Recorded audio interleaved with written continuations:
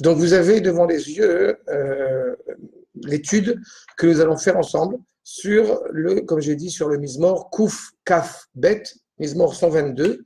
Et comme je l'ai dit, c'est effectivement en l'honneur de Yom Yerushalayim qui sera Bezrat Hashem Otzei Shabbat et dimanche. Je rappelle au niveau des halachot que euh, euh, on ne fait pas le Hallel le soir à Yom Yerushalayim parce que c'est la continuité de Yom Ha'atzmaut par contre, on fait le Hallel le matin à la prière, c'est ce qu'on appelle avec la bénédiction, les Gmor et Hallel, ça c'est de bon matin. On fait le Hallel euh, euh, euh et euh, en l'honneur de la réunification de Jérusalem, qui est quand même un événement important pour, nous.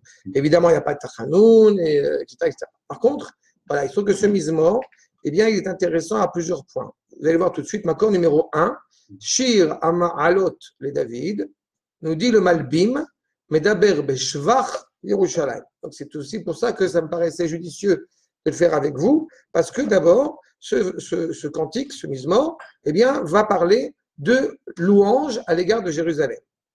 Metsayer et Taouma, et non seulement on pourrait dire, mais il y a plein de mismorines qui se préoccupent de faire des louanges sur Jérusalem. Sauf que ce mismor, il est rempli de louanges sur Jérusalem, qui sont intimement reliés avec la nation qui y est comme un seul corps. Aouma bichlala kegouf echad.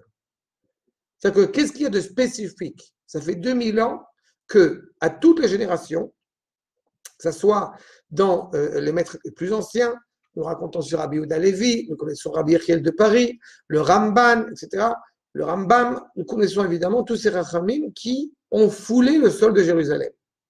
Mais qu'est-ce qu'il y a de particulier, même plus récemment, les élèves du Grand de Vilna, le Rav Menachem Mendel de Vitebsk, dans la Chassidoute, élève du Baal Shem mais qu'est-ce qu'il y a de spécifique qu'il n'y avait pas avant? C'est la réunion de la nation avec ses différentes composantes à Jérusalem. C'est ainsi que nous dit le Malbim. le Rav Meir je rappelle, on est fin du, 19, fin du 19e, fin du 18e. Amour Kav Me Evarim Pratim, qui est composé de plusieurs membres, Shonim Veirushalayim, c'est-à-dire plusieurs éléments qui composent la ville, de, qui au bout du compte, ensemble, vont composer euh, la ville de Jérusalem, mais encore une fois, qui vont être unis. Ir Shechubrala Yardav. On va devoir expliquer cette expression qui évidemment apparaît dans le verset, sur cette ville que tout le monde est associé et uni pour elle, autour d'elle. C'est grâce à Jérusalem que les différents membres eh s'associent. Ils ne sont plus seulement des membres individuels, isolés. C'est grâce au cœur que la main gauche et la main droite a son sens. Bah, c'est grâce à Jérusalem que les différents membres de la nation hébraïque eh ne, font plus qu'un. Liot Gouf Shalem, Yachulbo Ruach Achaim, Venefesh Ameshakelet, Venefesh Elaït.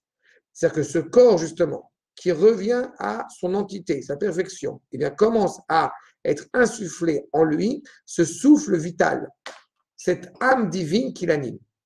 Un homme, encore une fois, un homme, une femme, c'est un bout de chair. Quand est-ce qu'il a du sens? Quand il y a une âme qui l'anime. Les chamas, les shima, il y a la respiration, il bouge. Je ne dis pas que c'est, que c'est, il faut être méprisant avec un cadavre. On a la tradition du respect pour les, pour les morts. Mais au bout du compte, c'est un être sans vie.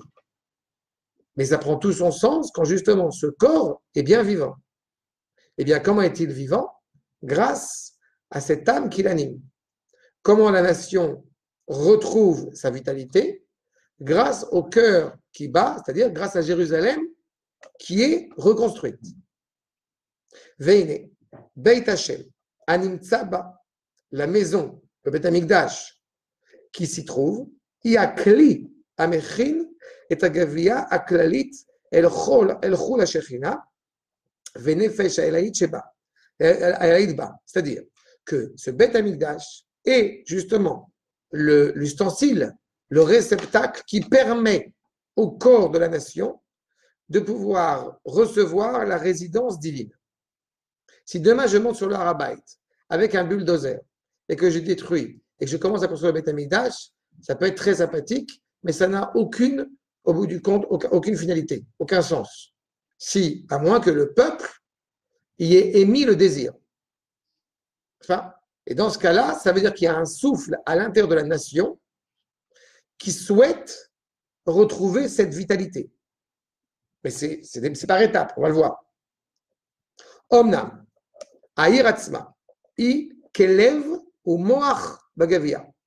La ville est en fait comme le cœur et le cerveau de ce corps. Ota, que ils vont préparer, El Kabbalat Nefesh ve Nefesh C'est ce corps qui est animé justement par ce cerveau et ce cœur qui vont donner des ordres, qui va permettre au bout du compte l'acceptation de Jérusalem, de retrouver Jérusalem. Alpisé, Yomar Ine, Samarti Beomrim Li, Beit Hashem Neler.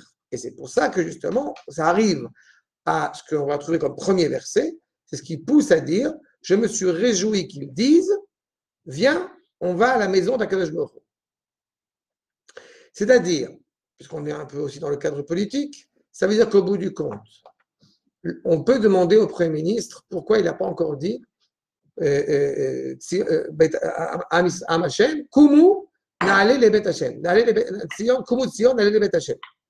Que Bibi dise Allez, il est temps, on va construire le Bet. Alors, on pourrait éventuellement demander ça. Le problème, c'est que le fait qu'il ne l'ait pas demandé, c'est que ce n'est que l'expression, ce n'est que l'illustration du fait que le peuple ne soit pas encore prêt à le demander. C'est que si effectivement quelqu'un se présentait aux élections en disant, en disant je veux construire le Beth Amikdash, pour l'instant, il y a des chances qu'on ne le comprenne pas. Je ne parle du Premier ministre. Je parle de celui qui est le représentant de la royauté en Israël. donc, euh, je sais, c'est inné chez lui que le peuple n'est pas prêt à le recevoir. Je ne sais pas si lui-même le pense. Ce n'est pas inné du rien du tout. Et ce n'est pas qu'il ne le dit pas. S'il ne le dit pas, c'est parce que le peuple n'est pas encore prêt, encore une fois, quand je dis que le peuple n'est pas prêt, ce n'est pas que le peuple n'est pas prêt seulement, c'est que le Premier ministre non plus, ce n'est pas à l'ordre de ses priorités. Et le Premier ministre n'est pas à l'ordre de ses priorités parce que dans le peuple, ce n'est pas à l'ordre de ses priorités. D'accord? Ce qui, encore une fois, ce n'est pas un reproche, c'est une réalité qu'on voit bien. Je vous rappelle les propos du Rav Goren quand il va voir le Rav Zviouda et qu'on lui demande est-ce qu'il, faut construire le Betamikdash et que le Rav Zviouda il dit pas encore. On voit bien le pas encore. Détruire la mosquée, c'est un autre sujet. C'est tout à fait louable c'était, c'était louable. Malheureusement, euh, maintenant, on a loupé le coche. Mais en tous les cas. Il a la possibilité de le dire, même s'il avait la possibilité de le dire. Non, mais non, non, non, non. Si, encore une fois, le peuple était prêt, il le dirait. Si le ah, peuple était prêt, non. Ça se ressentirait. voilà. J'insiste sur le fait, ne donne pas, c'est pas une question de, ne pas donner des mérites aux prémices actuelles, ça n'a rien à voir. Le fait est, c'est que le prémisse actuel, euh, euh, il ne l'a pas dit dans, dans, dans, ses, dans, ses, clauses pour être élu. Donc, c'est encore une fois, c'est parti, c'est pas dans de ses priorités, tout simplement. Ici, on a justement des gens qui disent à David, euh, euh, on veut monter, on veut aller à la maison d'Akashboro. Et en cela, si on le comprend dans ce sens-là, on va voir ce que c'est un peu plus complexe que ça. Mais dans ce cas-là, ça veut dire que David, sa marty, Beomrimli, a priori, ça serait signifier que David dit, je me réjouis que le peuple me dise cela. Le peuple veut ça. Euh, on, ne peut que, s'émouvoir quand justement le jour de Yom Yerushalayim, là, dimanche, où il y a quelques milliers de juifs Hashem, qui veulent absolument, en ce jour, monter sur le mont du Temple. On ne peut que se réjouir de cela. Qu'il y, a un réveil qui est en plus de ça progressif, de plus en plus vivant. Maintenant, ça ne veut pas dire que le peuple tout entier saisit ce qui est en train de se passer. En tous les cas, mitzad chez Shem Hashem, c'est pas juste pour construire, par exemple, même pour aller être vindicatif ou virulent à l'égard des ennemis. C'est plus que ça. C'est, on veut construire, comme il est indiqué, Beit Hashem, la maison d'Akadosh Baruch parce qu'on veut que le nom d'Akadosh Baruch Shachen Veu Mishkan, qu'il réside, qu'il fasse résider sa résidence, va Elohut Bakodesh Ona. L'essentiel de la demande, l'essentiel de l'aspiration, c'est la présence d'Akadosh Baruch encore une fois, révélée sur terre. On peut construire un Beth au moment justement où va sous les Mikdash, et Betocham. Ils me feront un sanctuaire et je résiderai parmi eux. On aurait dû dire résiderai parmi lui. C'est pas? Le commentaire est bien connu qui dit justement je résiderai parmi eux. C'est parce qu'ils ont émis cette demande que la présence d'Akash Bokhu pourra être pleinement vécue en eux. L'essentiel du Beth Amikdash, ce n'est pas encore une fois uniquement une maison de, de- de- pierre et de marbre. D'accord? Mais c'est vrai que c'est important. Maintenant, après cette courte introduction du Malbim, voyons le Mizmor ensemble. Shir Ama'alot, verset 1. Pour l'instant, on va lire les versets. Il y a Non, je juste, c'est- j'enlève. Non, non, c'est laisse comme Ouais, ça. c'est parce qu'il n'y a pas d'air. mais Je me disais, je vais mettre Non, la- ça va, Le soleil va. euh, Non, ça va. Là, là, ça va. Le soleil ne rentre pas. Non, la fenêtre est ouverte. c'est pas la- non, gênant, c'est le soleil qui est. Ah oui, tu as raison. Oui, oui. Gêné. Non, euh, Non, vas-y Je voudrais dire, Ken, est-ce que les המנהיגים, הרבנים והראשי ממשלה, המנהיגים, הם לא רוצים, אז העם לא רוצה, או מתי שהעם רוצה, אז המנהיגים ירצו. il y a des réalités dans le passé qui ont montré que le peuple, Malach Idiot du Rav Kook, il y a des réalités qui ont montré que parfois le peuple était très prêt et les dirigeants n'étaient pas prêts ou l'inverse. Mhm. D'accord Mais il n'empêche que, à la dernière délivrance que nous vivons actuellement, il est évident qu'il doit y avoir, puisque justement on vote pour quelqu'un, donc il doit y avoir une adéquation entre ce que je veux et ce que j'attends de mes dirigeants. Mhm. Pour l'instant, chez nos dirigeants, euh, euh, justement, l'évocation n'a pas été évoquée, peut-être à part une personne. Mais bon, ce qui est toujours très comique, c'est qu'il semble vouloir ça d'un côté et en même temps euh, fumer de la drogue de l'autre côté. Donc c'est un peu compliqué. Euh, Mais euh, de manière générale, peut-être- c'est peut-être pour ça qu'il veut faire. Mais en tous les cas, en tous les cas, il est clair que ce n'est pas concevable pour l'instant à l'échelle du peuple. Ce n'est pas une demande d'un parti de vouloir construire le. Non. D'accord? C'est la demande du peuple. On a dit c'est- Shifteya. C'est toutes les tribus qui, on va le voir, toutes les tribus qui ont émis cette demande-là. Le fait que les rabbinim, encore une fois, veulent le construire, c'est ce que évoqué tout à l'heure. Le Beth Amikdash, il n'appartient pas au monde religieux sioniste, n'est-ce pas? Le Beth Amikdash, il appartient au Ham Israël. Oui. Il est, enfin, il appartient. Il est la volonté de tout l'Am Israël. Mhm. Donc, puisque Israël n'est pas encore habilité à le construire, il faut, c'est qu'il n'est pas habilité à le construire, ça veut dire qu'il ne le veut pas. C'est-à-dire qu'il ne sait pas encore une fois de quoi on parle. Donc, il faut absolument euh, y aller. Mais quand on lit Haggai, par exemple, le prophète Haggai, il y a deux chapitres dans le prophète Haggai. Dans le premier chapitre, il se plaint pourquoi est-ce que vous ne voulez pas construire Beth Amikdash. Il a plein de problèmes. Des questions économiques, des questions politiques. Oui, parce que vous dites que c'était mieux avant et que oui, mais après, le monde entier va être contre nous. Très intéressant par rapport à l'actualité, évidemment. Haggai, chapitre 1. Et une fois qu'il a réussi à montrer au peuple la valeur et l'importance de construire le Beth Amikdash, que le peuple est convaincu, deuxième chapitre, ce qui semble très étrange, elle va leur dire, vous voulez le construire? Venez, on va voir si vous êtes apte à le construire. Et vous ne connaissez pas la halachot, comment vous voulez le construire comment... Il faut d'abord réveiller dans le peuple cette volonté de le construire. D'accord? Après, il y a plusieurs moyens. Il y a l'étude, qui est fondamentale. Il y a le Rav Israël Ariel avec le Machon Amikdash, qui se préoccupe des ustensiles pour essayer de renouveler cela. Chaque chose, encore une fois, a un sens. Certains trouveront ça ridicule de parler d'éléments, de parler des, des ustensiles du Beth Amikdash alors qu'on n'en a pas encore parlé. Je, pour ma part, je ne le pense pas. Je, pense pas. je ne pense pas que ce soit suffisant, parce que ça reste encore une fois au niveau de la sensibilité. Mais je pense que c'est important aussi. Chaque chose qui, encore une fois, peut essayer d'éveiller dans le peuple la volonté de se rapprocher du cœur euh, de, de, justement de notre nation, eh bien, est le bienvenu. D'accord? Donc, comme tu dis, il faut que tout âme Israël euh, soit, fasse la, enfin, pas la demande, mais souhaite la. Exprime cette demande. Mais qu'est-ce que tu entends par âme Israël? Le peuple juif. Et le peuple juif, c'est quoi? Tous les juifs qui sont présents en Israël et qui veulent. Quand je dis en tous- Israël ou? Non, D'abord, d'abord, enfin, d'abord, pour la- d'abord, encore une fois, celui qui va être acteur, je l'ai déjà dit plusieurs fois, le- la terre d'Israël appartient à tout le peuple juif, qu'il soit en Israël, qu'il ne soit, pas en soit pas en Israël. Mais quelqu'un qui est en dehors d'Israël, encore une fois, il est au mieux, je vais dire une expression un petit peu grossière, il est au mieux pro-sioniste. Il n'est pas sioniste. D'accord?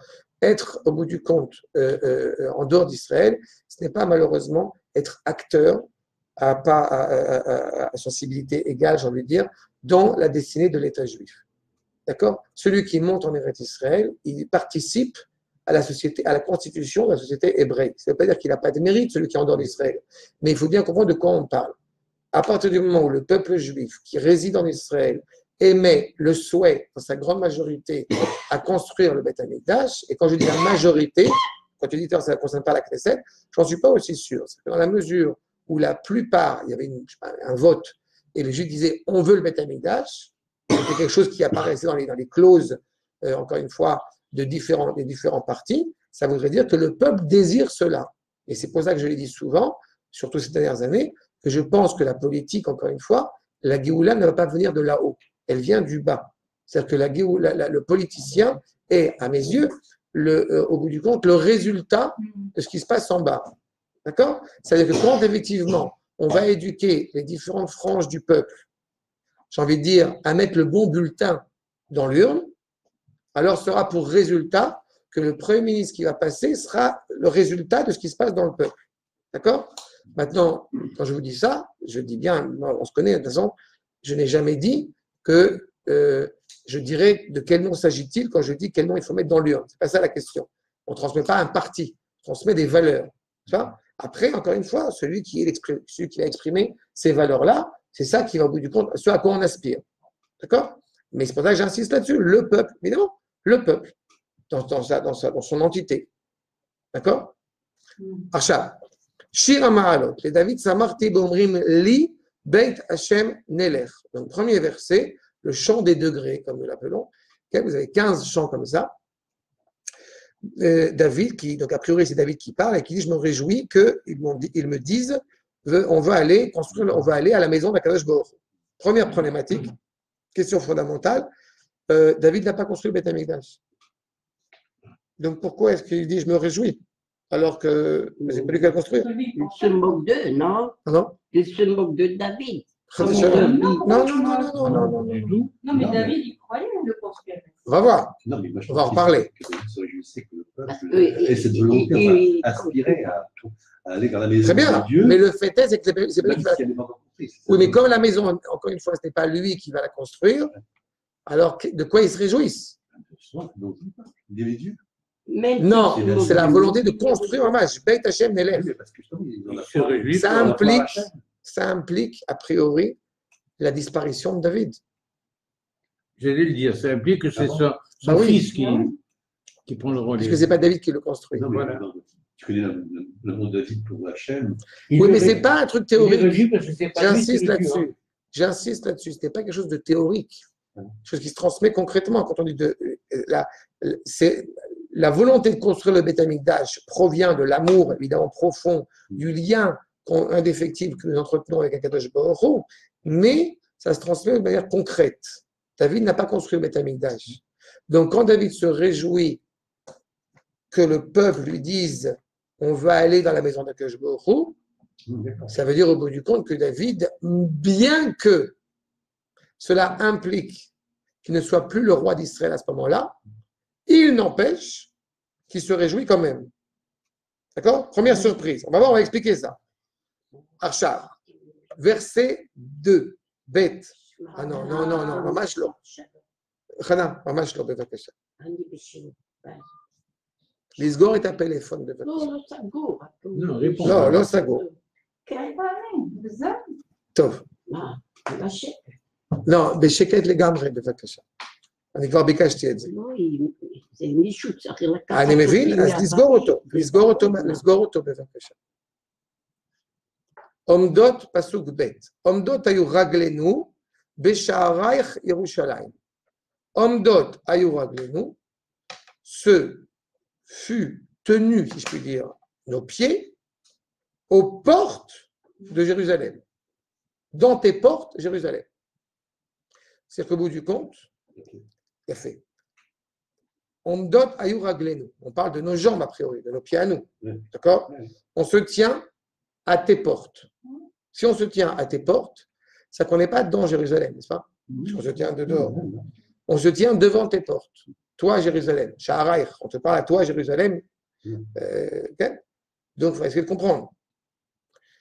Dans tous les cas, on veut aller là-bas, on se tient devant, on est prêt. Yerushalayim Habenouya, cette Jérusalem construite, Keir Yarda, comme telle une ville que, au bout du compte, euh, tout le monde, ensemble, se relie autour d'elle. Il y a une union du peuple qui est motivée par l'union du peuple ou qui est motivée par l'idée de la ville qu'elle est. C'est a deux solutions. Ou on est unis et on va ensemble au même endroit, ou l'endroit lui-même, l'évocation de l'endroit, eh bien, nous unit. On n'est peut-être pas unis au début, mais la ville de Jérusalem, a cette qualité, elle a ce talent de nous unir, de nous réunir. Ou l'inverse.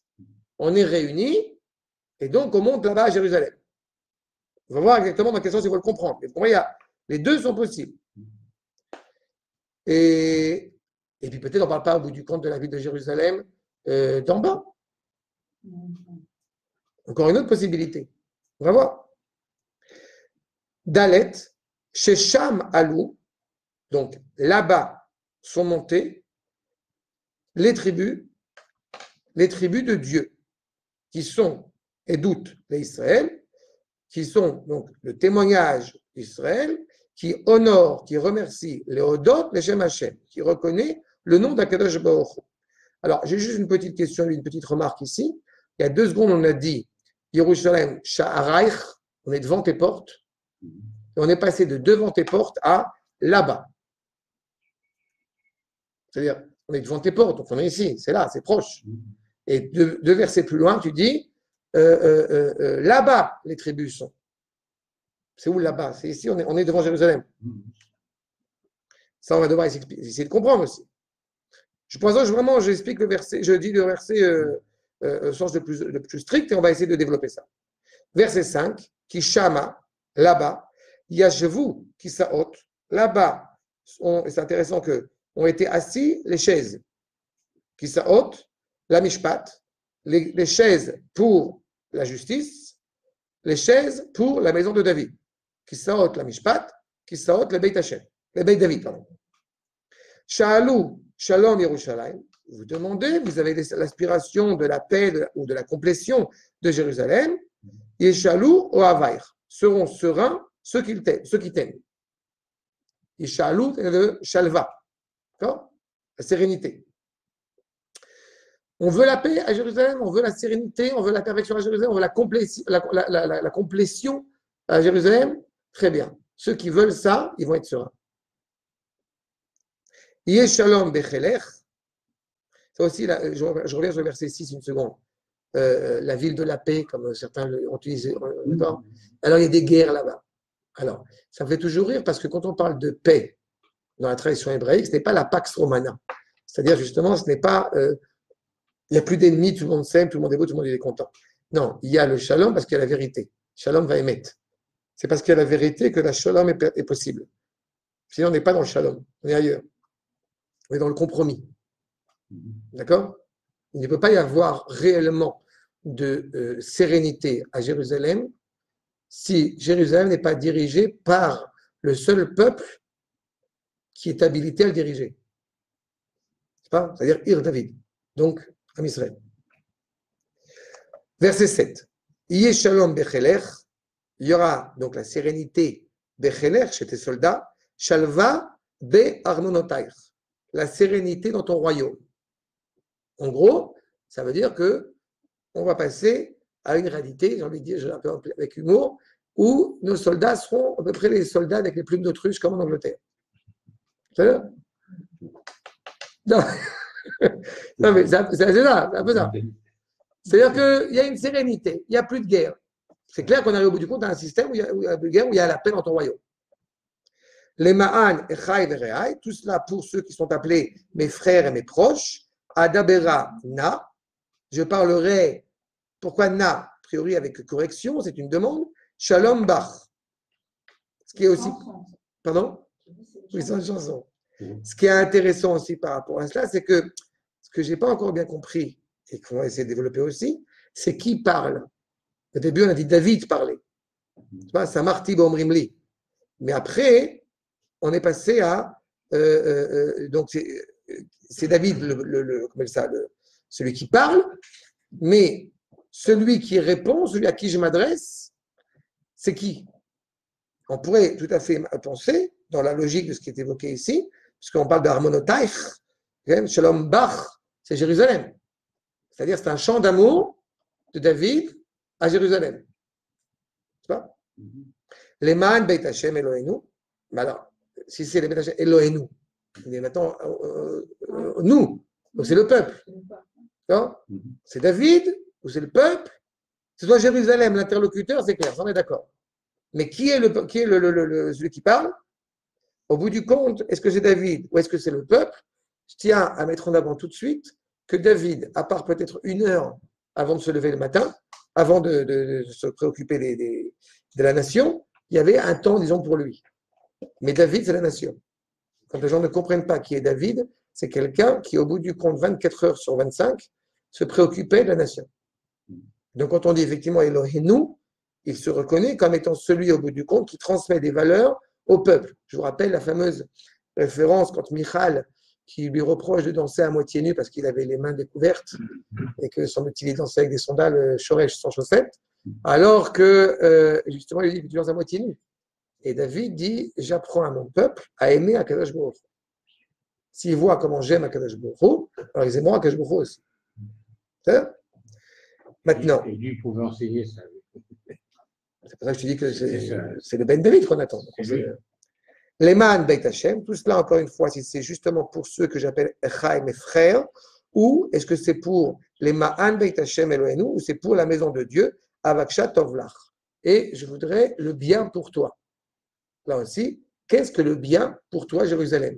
Est-ce que c'est que ceux que j'appelle mes frères soit chez toi, soit serein chez toi, ou c'est que tu as une maison où tu puisses résider Ce sont deux versets distincts.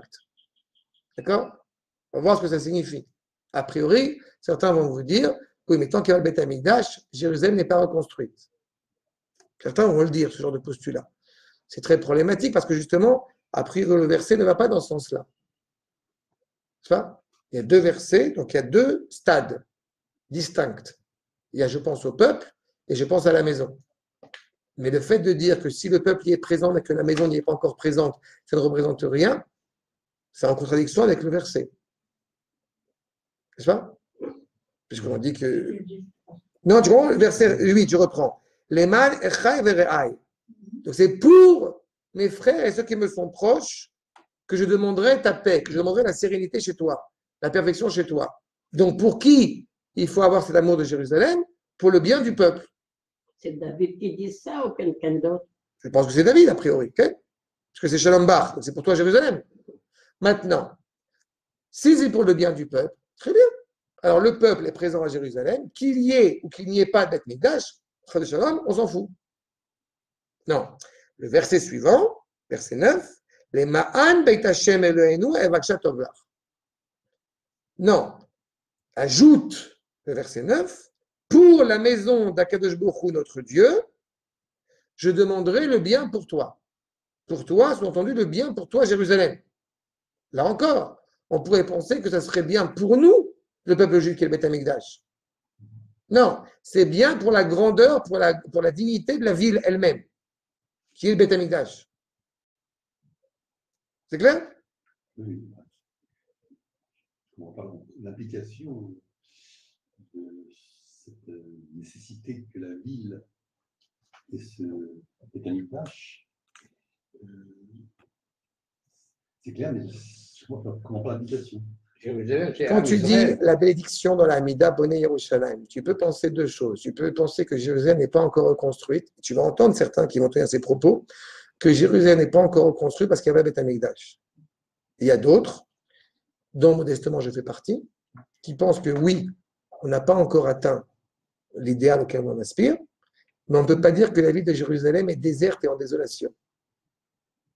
Parce que quand tu mets les pieds à Jérusalem, notre Hachem a une vitalité. D'accord? Le Beth Amikdash auquel nous aspirons va effectivement être construit sur un, terrain qui est vivant, où il y, il y il y a, une vie. Quand je dis une vie, c'est le chouk, c'est le Kenyan Malcha, c'est euh, Gantanachi, c'est ce que tu veux, mais c'est une vie. C'est là Si on pense qu'une fois qu'on a le, le Canyon Malcha, ça y est, on est arrivé au summum de ce que pouvait arriver à la ville de Jérusalem, Mhm. alors c'est clair que non. Mais si on pense que, que Malcha, c'est rien, parce que c'est pas le Beth Amikdash, c'est aussi problématique. Ces deux versets mettent l'accent là-dessus. Pour le peuple, pour le Beth ça. D'accord? C'est la compréhension, encore une fois. J'ai expliqué ça il n'y a pas longtemps à quelqu'un parce qu'on on- on se rend compte des incompréhensions. C'est l'implication que le politique hébraïque n'a rien à voir avec le politique de n'importe quelle nation dans le monde. La présence d'Akadosh Baruch est conjointement liée, si je puis dire, à la vitalité du peuple juif. Je m'assure toujours un petit peu qu'on parle de, de démocratie en Israël, pas de démocratie, mais de théocratie. Même ça, Non, même ça, non. Non. Même même ça, non. Non. Parce que quand tu dis théocratie, ça veut dire qu'au bout du compte, non, c'est très important ce que tu soulèves maintenant. Parce que la théocratie, la théocratie, cela implique qu'aucune décision ne soit prise par les hommes. Mais d'Afka, il est fondamental que les décisions de l'État soient prises par des hommes. Oui, mais c'est les hommes, au bout du compte, qui vont te donner. La Torah n'est pas la halakha. C'est un sujet fondamental. On s'approche de Shavuot, c'est toujours important de l'avoir en tête. La Torah n'est pas la halakha. La seule manière pour toi de comprendre la Torah, c'est par le biais des maîtres. Et quand justement tu vas on va se dire, enfin la Torah c'est céleste, c'est hi. Quand la Torah elle a été donnée sur terre, désormais elle est entre les mains, si je puis dire, des sages. C'est en cela où c'est la décision des maîtres du Sanhedrin, on évoquait dans le Mishpat, ok, qui vont au bout du compte mener à bien le projet divin. Donc ce n'est pas une théocratie, mais oui, tu as raison sur que le fait que l'État d'Israël, évidemment, n'est pas euh, euh, euh, séparé de Dieu, mais il n'est pas non plus réuni avec Dieu. C'est une symbiose. Il est plus proche de Dieu que, de- de- que du peuple. Enfin, il est moins démocratique. Il est plus théocratique que démocratique, je veux dire. Sans être totalement théocratique. C'est comme euh, C'est le pouvoir à quatre têtes. Que j'aime souvent rappeler, c'est le pouvoir à quatre têtes que Maïtou reprend notamment sur le fait qu'on parle de Mishkan, Malchut, sur le fait qu'il y a une voix. D'accord? C'est ni, démo- ni, démo- c'est ni démocratique au sens où effectivement où chaque- où n'importe qui peut faire ça. C'est ni théocratique au sens où vous pouvez le comprendre. C'est un pouvoir qui est dirigé par quatre têtes distinctes. Mishpat, le pouvoir judiciaire. Euh, Slicha. Euh, euh, non, non, Slicha. Malchut, sur le fait que Melucha, sur le fait qu'il y a une voix par un roi, par un dirigeant politique, par un appareil judiciaire, Shoftim, par un appareil théocratique, pontif, et Kohanim, dans le Beth et par l'anarchie.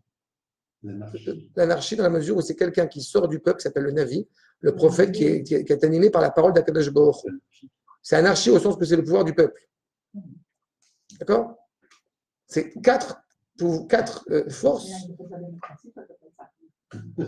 Oui, mais au, au sens, de- au sens, encore une fois, que ce n'est pas forcément euh, euh, euh, un, un pouvoir décidé. C'est-à-dire que le prophète, il peut arriver et dit Dieu m'a dit que c'était pas bien ce que vous faites. Le roi, il, en fait ce qu'il- le roi, il fait ce qu'il veut avec ça. Oui. Mais Akash Hu s'est révélé, à pleine moi- s'est révélé à moi en pleine nuit. Il m'a dit Aleph Bet Gimel, j'ai l'obligation, au risque même de, de, de mettre en danger ma vie, de te délivrer le message que m'a livré Akadosh Baruch Hu. Mhm. Pareil. Donc c'est- il y, a il y a quelque chose de. C'est Donc, c'est ces quatre pouvoirs-là qui sont, encore une fois, qui existent.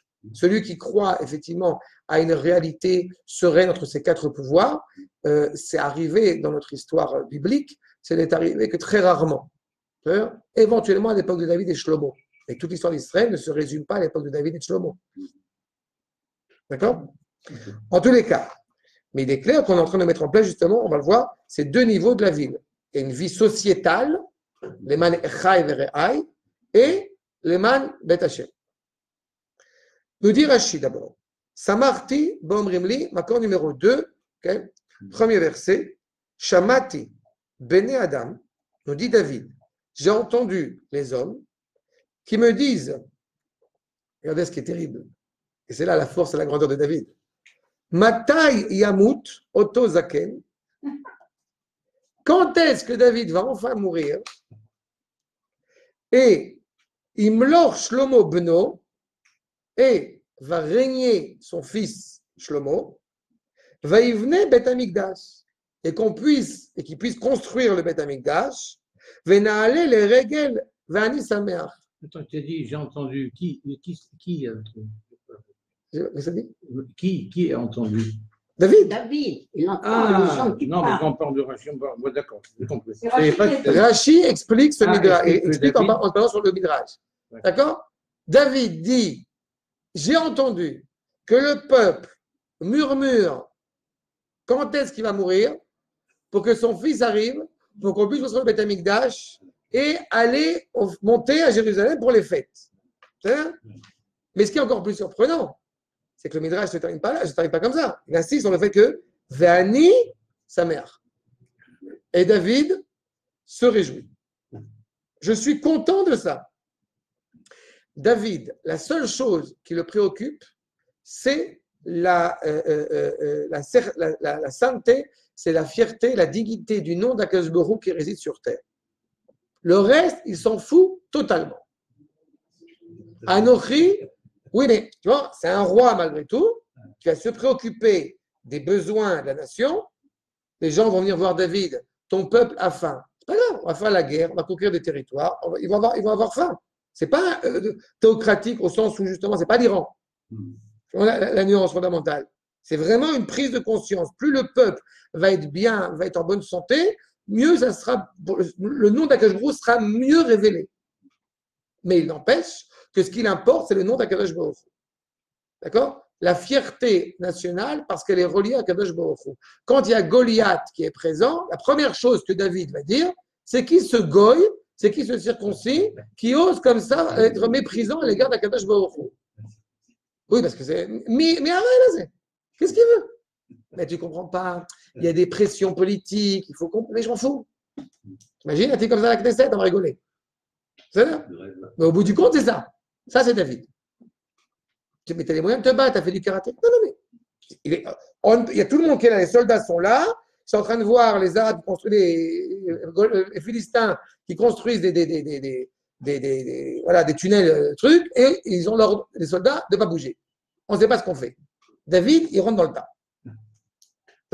Ça, c'est David. Et il est, encore une fois, heureux quand le nom d'Akadosh Hu est proclamé. Donc, si ils disent et ils estiment que quand est-ce que David va mourir, pour lui, ce n'est pas une souffrance, au contraire, c'est une réjouissance. D'accord? Ils n'ont pas dit que David voulait qu'il meure, ils n'ont pas dit qu'ils voulaient que David meure pour des, mauvaises raisons.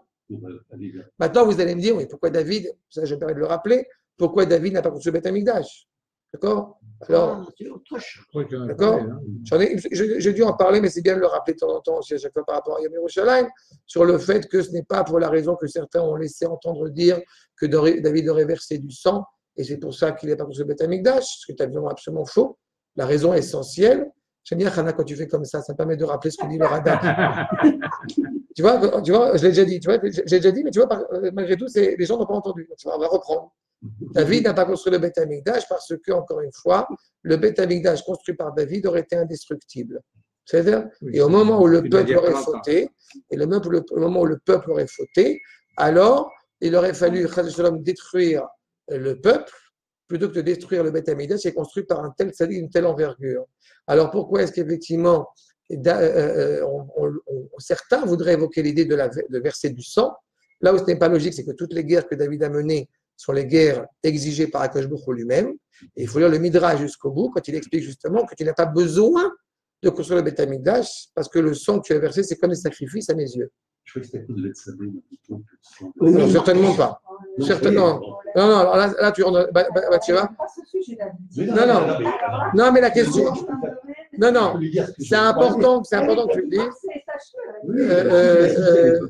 Shlomo est le fils de Bathsheba. Shlomo est le fils de Bathsheba. Donc tu comprends bien que si on reproche s'il y a une, une seule tâche sur cette union entre David et Bathsheba, on ne comprend pas comment est-ce que le fils de cette union. D'accord? La seule raison, c'est parce que, encore une fois, j'ai dit, David était profondément élevé, il savait pertinemment qu'il ne pouvait pas construire le Beth. D'accord? Mais rassure-toi, le Ben David va construire le Beth Amikdash. D'accord? Comme punition, il n'y a, a, a, pas- il y a pas pire. D'accord et moi, comme j'étais comme ça, j'ai pas pensé ah. pour le sang. Moi, j'ai dit, ça c'est une blague pour le sang, ah. autre chose. C'est bien. Alors, je poursuis. D'accord, numéro 3. D'accord? David. Encore une fois, je vais vous donner un premier sens. C'est le peuple qui souhaite, pour le Betamikdash, la fin du, règne de David. Mais il y a un autre sens que va nous ramener le Radak. Shir Maalot, le Radavid Kimchik. Numéro 3. Efshar qui shar Shir Shelon Iskar Bahem et David, Chibroum Ameshorerim Il est tout à fait envisageable que les autres Mizmorim, où il n'y a pas forcément écrit, où il est forcément rappelé le nom de David, que ce n'est pas forcément David qui les a écrits. Parce que je vous rappelle qu'il y a dix personnes qui ont écrit les Teilim. C'est-à-dire, mm-hmm. et David a compilé tous ces Mizmorim. Les dix personnes, en l'occurrence, les enfants de Korah, de, euh, Shlomo, Moshe, Adam Arishon, mm-hmm. euh, euh, Asaf Alevi, bref, plusieurs personnes. Mais là, il est clair que ce mizmor où il est précisé Shir HaMalot les David, hein, ve- Asher Ne'emar Bahem les David, Chibram David. Là, c'est clair, c'est David qui l'a écrit. Maintenant, pourquoi c'est important de signifier cela? Parce que ce mizmor, nous dit le Radak, Ve mizmor azé, Mahamar Benei Agalut. C'est-à-dire qu'en fait, a priori, on dirait, ah, tu vois, ce mizmor-là, comme il est dit au nom de David, donc c'est David qui l'a écrit. Mais en fait, nous dit le Radak, ce sont les gens qui proviennent de l'exil et qui disent quoi? Mais Rov Ta'avatam, les Binyan Bet Amikdash, ils ont un tel désir de construire le Bet Amikdash, Iskeru Alot Israël, les Regalim. Ils vont se rappeler effectivement l'importance de monter en Eretz Israël pour les fêtes. Vaïdabro à Avot et vont parler dans la langue des pères, Shayou Bezman Abayt, qui était présent à l'époque du Bet Amikdash. Amar Samarti, Kol Echad Ve'echad, Omer Samarti. C'est-à-dire qu'au bout du compte, dans le premier sens qu'on voit avec Rashi, il s'agit de David qui se réjouit que le peuple vienne lui dire comme cela. D'accord? Il y a un, entre David et le peuple. Dans le commentaire du Rav David Kimchi, en fait, ce n'est pas David, c'est une sorte d'image du peuple. C'est-à-dire qu'il n'implique pas la mort de David. Mais c'est l'image du peuple, que j'évoquais l'heure, ce qui n'est pas du tout contradictoire, dans la mesure où David, c'est l'image de la nation. Donc le peuple parle. On sait très bien que quand, par exemple, à l'époque de la conquête d'Eretz Israël, et qu'on dit Yehuda Benjamin, on sait très bien que ce n'est pas Yehuda et Benjamin, c'est la tribu de Yehuda et la tribu de Benjamin. Donc ici, quand on dit David, sous-entendu le royaume qui veut construire le Beth. Et donc, c'est quoi Samarti, selon l'enseignement du Radak? C'est chacun, au bout du compte, et euh, euh, se réjouit de l'évocation de monter en Eretz Israël et à Jérusalem pour les fêtes. D'accord? N'oubliez pas que pendant l'année, quand il y avait le Beth la plupart des Juifs étaient agriculteurs. Donc, on ne va pas, euh, on, va pas toutes les cinq minutes à Jérusalem. On y va quand on a une naissance, on y va quand on a une faute plus ou moins grave à se faire pardonner, quand on a envie d'apporter un sacrifice euh, euh, ou de reconnaissance ou expiatoire, et on y va, au- euh, disons, tous ensemble, trois- euh, au, au maximum trois fois par an, au moins une fois par an. C'est-à-dire qu'on ne va pas forcément monter à tous les régalimes. Normalement, on ne parle pas des trois fêtes de pèlerinage. Mais il est arrivé que pour les trois fêtes de pèlerinage, par exemple à Pessah, tu ne peux pas monter parce que tu es impur, que tu vas à Pessah Cheni. On va pas forcément. Mais disons qu'on a une obligation d'aller au moins, effectivement, une des trois fêtes euh, euh, euh, à Jérusalem. Il est évident que l'idéal, c'est de monter trois fois. Mais en tous les cas, c'est cette évocation-là qui, est mise en, qui, mis en, valeur. Poursuivre le Ramad Valley, justement, quand on nous dit, donc après, on a compris ce verset, Shirama Alot, les David, Samarti Bonli, Bet Hashem Neler. Verset 2, on a dit, Omdot, Ayur Raglenu, Beshara, Yerushalayim. Nous dit le Ramad Valley, Ein Amida, Shel Chizuk, Veshel Koneniut, les Raglehem, Shel Anitzotzot, Akedusha. Il n'y a pas c'est quoi la différence entre Amida et Yeshiva? Quand on se tient debout, on est prêt à agir. D'accord? Être assis, c'est l'expression de la sérénité, c'est l'expression de, de la stabilité. De l'autre côté, je vous rappelle que pourquoi est-ce qu'on on se tient debout quand on va faire la, la, la, la, la prière de l'Amida? On ressemble aux anges tutélaires qui eux sont constamment debout. D'accord? Ce qui implique que les anges tutélaires sont constamment actifs pour justement œuvrer pour le bien, pour le nom Hu. Donc quand on dit effectivement Omdot Ayu Raglenu, ça veut dire qu'au bout du compte, on se tient debout, euh, prêt pour renforcer et rassembler toutes les étincelles de sainteté. Et quand est-ce qu'on va s'asseoir? Quand tout sera arrivé à la source. Quand tout est bien revenu au bon endroit, alors il y aura, une- il y aura la sérénité. Ça veut dire qu'un juif en bonne santé ne se repose jamais. Il se repose après 120 ans. Il se repose le Shabbat pour puiser des forces pour retourner travailler. Moi, je me repose. D'accord? Le matin, tu fais la prière, tu termines la prière par les Takem Achut Shaddai, Aleno Shabbat, Tu termines la prière en disant Je vais me préoccuper de réparer le monde choisi par, euh, euh, choyé, euh, voulu par Akadosh Baruch. On est debout tout le temps. D'accord? Pour rassembler, comme il est dit, les étincelles de sainteté, qui se sont éparpillées. Et là, chez les quand ces étincelles-là, elles vont revenir à la source, Bagoy Mahem, Lotargia, Velo Yemanoach, les Kafraglecha. Ici, c'est un propos qui est très important.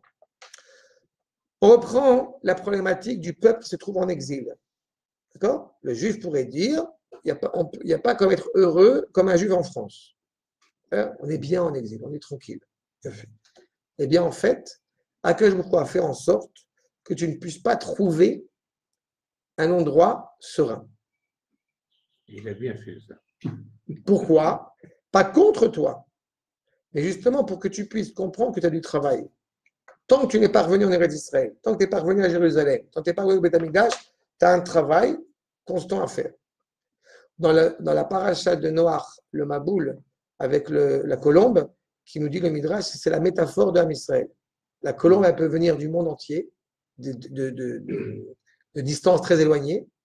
Et ce qui est spécifique à la colombe, c'est qu'elle est fidèle. Donc elle revient toujours vers son nid. Ainsi, le peuple juif qui est fidèle, qui a toujours un lien avec Akadosh Baruch Hu.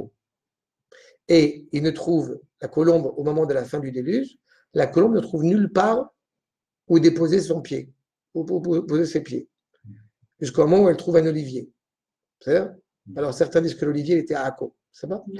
Parce que là, le déluge n'est pas arrivé à Akko. Certains disent que c'est comme ça. Non, En tous les cas, peut-être un aria.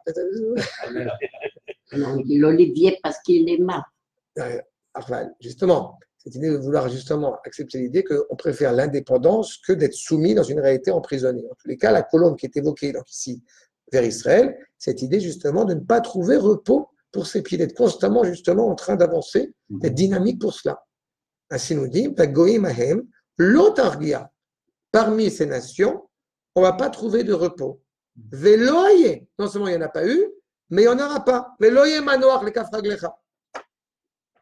D'un côté, on aspire à revenir à Jérusalem.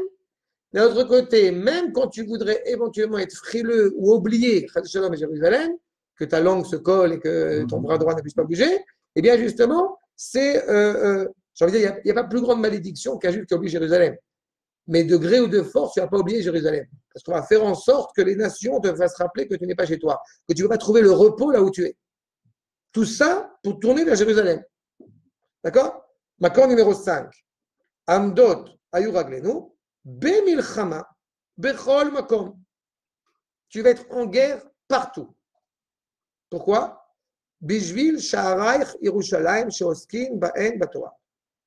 Tant que on n'a pas le privilège de pouvoir être à tes portes, Jérusalem, pour œuvrer dans la Torah, calmement, sereinement, sympathiquement, tu seras en guerre. Les gens veulent la solution réelle pour trouver, pour, euh, comment dirais-je, pour faire, pour mettre la fin, euh, pour mettre fin à, la guerre le Proche-Orient. Donc, on n'a pas clairement euh, évoqué le lien indéfectible qui nous relie avec toutes les parties de Jérusalem. La guerre est inévitable. Mais ce n'est pas une malédiction, hein. au contraire. Non. Il y a raison. Il la paix. Parfois, il y a des non-juifs qui comprennent ça. Le Radak, Omdot Raglenu, ok, je reprends, encore numéro 6, qui a Olim Rishonim, Ayu Omdim Basharim, ou Metzapim Abaim Achariem. Pourquoi est-ce qu'on se tient à tes portes? Alors, comme j'ai dit, on est prêt à mener la guerre, on est prêt à avancer. Mais là, il y a quelque chose encore qui est très émouvant. C'est qu'on se tient à tes portes, Jérusalem, et on attend les prochains qui vont arriver. Qu'est-ce qui se passe dans le Beth Amikdash Par exemple, à Pessah, où on est en train de faire le Corban Pessar, qu'il y a une telle quantité dans le peuple que ça passe par des lignes de 30 personnes comme ça Ah ouais? Pour un sacrifice. Ah oui, c'est une doucherie. Pendant une journée, le 14 Nissan, c'est, bon, il y, a, il y a beaucoup de gens qui viennent faire pour le sacrifice. C'est à la, c'est à la chaîne. Pour que tout le monde ait fini à- pour manger le Corban Pessar en son temps. En tous les cas, on attend, il y a tellement de juifs qui veulent venir. Une des grandes choses dans la génération, il n'y a pas si longtemps que ça, avec ces juifs qui vont s'installer dans la vieille ville de Jérusalem et qui essayent de subvenir à leurs besoins, et qu'il faut des, des- mécènes et qu'il faut des Moshe Montefiore pour essayer de, de mettre en place un moulin pour qu'ils puissent, pour qu'ils puissent moudre le, blé, pour qu'ils puissent subvenir à leurs besoins et sortir de la ville. C'est-à-dire qu'arriver à un stade où il y a euh, euh, euh, de plus en plus de familles à Jérusalem. Vous comptez ça Une telle dévotion à l'égard de Jérusalem, une telle vitalité à l'égard de Jérusalem, qu'on se tient à tes portes en attendant les prochains qui vont arriver. J'en s'inquiète, mais il y aura de la place, t'inquiète pas, il y aura de la place. Archa. Et donc justement, le verset 3, Yerushalayim Abenouya, de quelle ville, de quelle Jérusalem parle-t-on? Nous dit le Maram al-Sheikh Akadosh, le Maharam al-Sheikh Akadosh, le Rav Moshe al-Sheikh, Fat, 15e siècle. Oh, merci. Makon numéro 7. Yerushalayim Abenouya, I Shel Mata Agashmit, Asuya Binyan. C'est quoi Yerushalayim Abenouya C'est l'investissement matériel de construire la ville. C'est comment tu sens que Jérusalem est reconstruite quand justement il y a des immeubles, il y a des maisons, il y a une vie. Est-ce que- c'est juste ça? C'est pas que ça, mais c'est d'abord ça. D'accord? Shurim Benouya. C'est quand même très émouvant quand on dit la Beracha que, Akash Baruch que la ville de Jérusalem soit reconstruite. Et que, voilà. on- D'accord? Même si, encore une fois, il y a aussi des renards sur le mont du temple. D'accord? Des, des renards, à, à- à- des renards à deux pattes. שועלים הולכים בם. עכשיו, מטה הגשמית, מטה הגשמית עשויה על ידי בניין. היא כאילו עיר שחוברה לה. Il dit, c'est comme si justement cette ville, au bout du compte, où sont reliés à elle, היא ירושלים של מעלה, המחוברת ומכוונת נגדה. Eh bien, qu'est-ce qui est relié à la Jérusalem d'en bas La Jérusalem d'en haut. כאילו שתיהן יחדיו. Donc c'est qui מחובר לה יחדיו C'est la- c'est Jérusalem d'en bas avec la Jérusalem d'en haut. Ça veut dire qu'au bout du compte, premier stade, il faut construire la Jérusalem d'en bas. Parce que la Jérusalem d'en haut ne sera pas construite tant que la Jérusalem d'en bas ne sera pas construite. Qu'est-ce que c'est que la Jérusalem d'en haut? J'ai envie de dire, c'est le souffle vital qui anime la ville de Jérusalem. C'est-à-dire, on va le dire au niveau de l'humain. Une personne qui vit, c'est une bonne chose. Mais une personne qui n'a pas de sens à sa vie, c'est une catastrophe. Elle est, aveugle, elle ne voit rien. Alors que quand effectivement, mais ça ne veut pas dire que la personne n'est pas vivante, elle, mange, elle vit. Mais ce qui va donner toute la grandeur, toute la richesse de cet homme, c'est quand il sait pourquoi il vit. Il sait quelles sont les valeurs pour lesquelles, encore une fois, il existe. Bon, bah, la Jérusalem d'en bas, qui est animée par cette Neshama qui l'anime. Ça, c'est la Jérusalem d'en haut.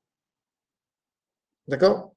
Et Chubrala Yarda. C'est pour ça que Alken, Haomed be'echat sha'area, ukeilu raglav omdot be'sha'arei ha'elyonim gamhi. Quand on se tient aux portes de la Jérusalem d'en bas, eh bien, en fait, c'est comme si on était aux portes de la Jérusalem d'en haut. Parce qu'on se tient aux portes en étant conscient de ce qu'on va y faire, de ce pourquoi on y est. D'accord? C'est terrible quand on arrive à Jérusalem et qu'on arrive à ne plus s'émouvoir de ce qu'on est en train de vivre. Ve Aomed Birushalayim, qui est Omed Birushalayim Shel Mala. En se tenant justement à Jérusalem, c'est comme s'il était dans la Jérusalem, comme s'il se tenait dans la Jérusalem d'en haut. Je répète, Jérusalem n'est pas la capitale de l'État d'Israël. Jérusalem est la capitale du monde entier par le biais d'Israël. Si on avait dit Jérusalem est la capitale de l'État d'Israël, ce que certains malheureusement comprennent comme cela, eh bien, au bout du compte, c'est comme Paris qui est la capitale de la France. Ça n'a rien à voir. La luminosité, la grandeur, la, la, la, la, dignité de Jérusalem, Eh bien, au bout du compte, si elle n'est pas entre les mains d'Israël, elle est, euh, elle est mise en balotage. Elle est dangereuse pour le monde entier. Il faut que Israël retrouve ce lien organique avec cette ville pour la bénédiction de l'humanité. D'accord? Jérusalem n'est pas, euh, euh, n'est pas justement n'est pas, euh, euh, n'est pas sacré. Jérusalem est ce qui permet l'expression de sainteté sur terre. Je vous rappelle que Zé Eli Ve'an Ve'u, quand on est dans la Shiratayam, quand on est en train de traverser la mer, et que le peuple juif eh bien, a émis le souhait de vouloir conserver cet instant euh, métaphysique, méta, euh, euh, au-delà de l'espace et au-delà du temps, il veut conserver ce moment-là intact pour l'éternité. C'est à ce moment-là que la construction du Mishkan puis du Beth Amikdash est possible. C'est-à-dire qu'il y a, un, y y a endroit dans le monde qui, au bout du compte, est relié à l'absolu. D'accord? Je vais expliquer ça dans des, dans des choses beaucoup plus concrètes. On ne peut pas monter partout à Jérusalem. Dans le, sur le rabbin, sur le mont du Temple, on ne peut pas monter partout. Pourquoi? C'est tout? Il y a une réalité où on pourrait dire, mais en quoi Parce qu'il y a- il y, a une mosquée maintenant. Non, ça ne change rien. Autant la sainteté du mont Sinaï était ponctuelle et elle n'est plus d'actualité, autant la sainteté du mont du Temple est éternelle. Et peu importe ce qu'il y a dessus. D'accord? Il y a une évocation objective de la sainteté.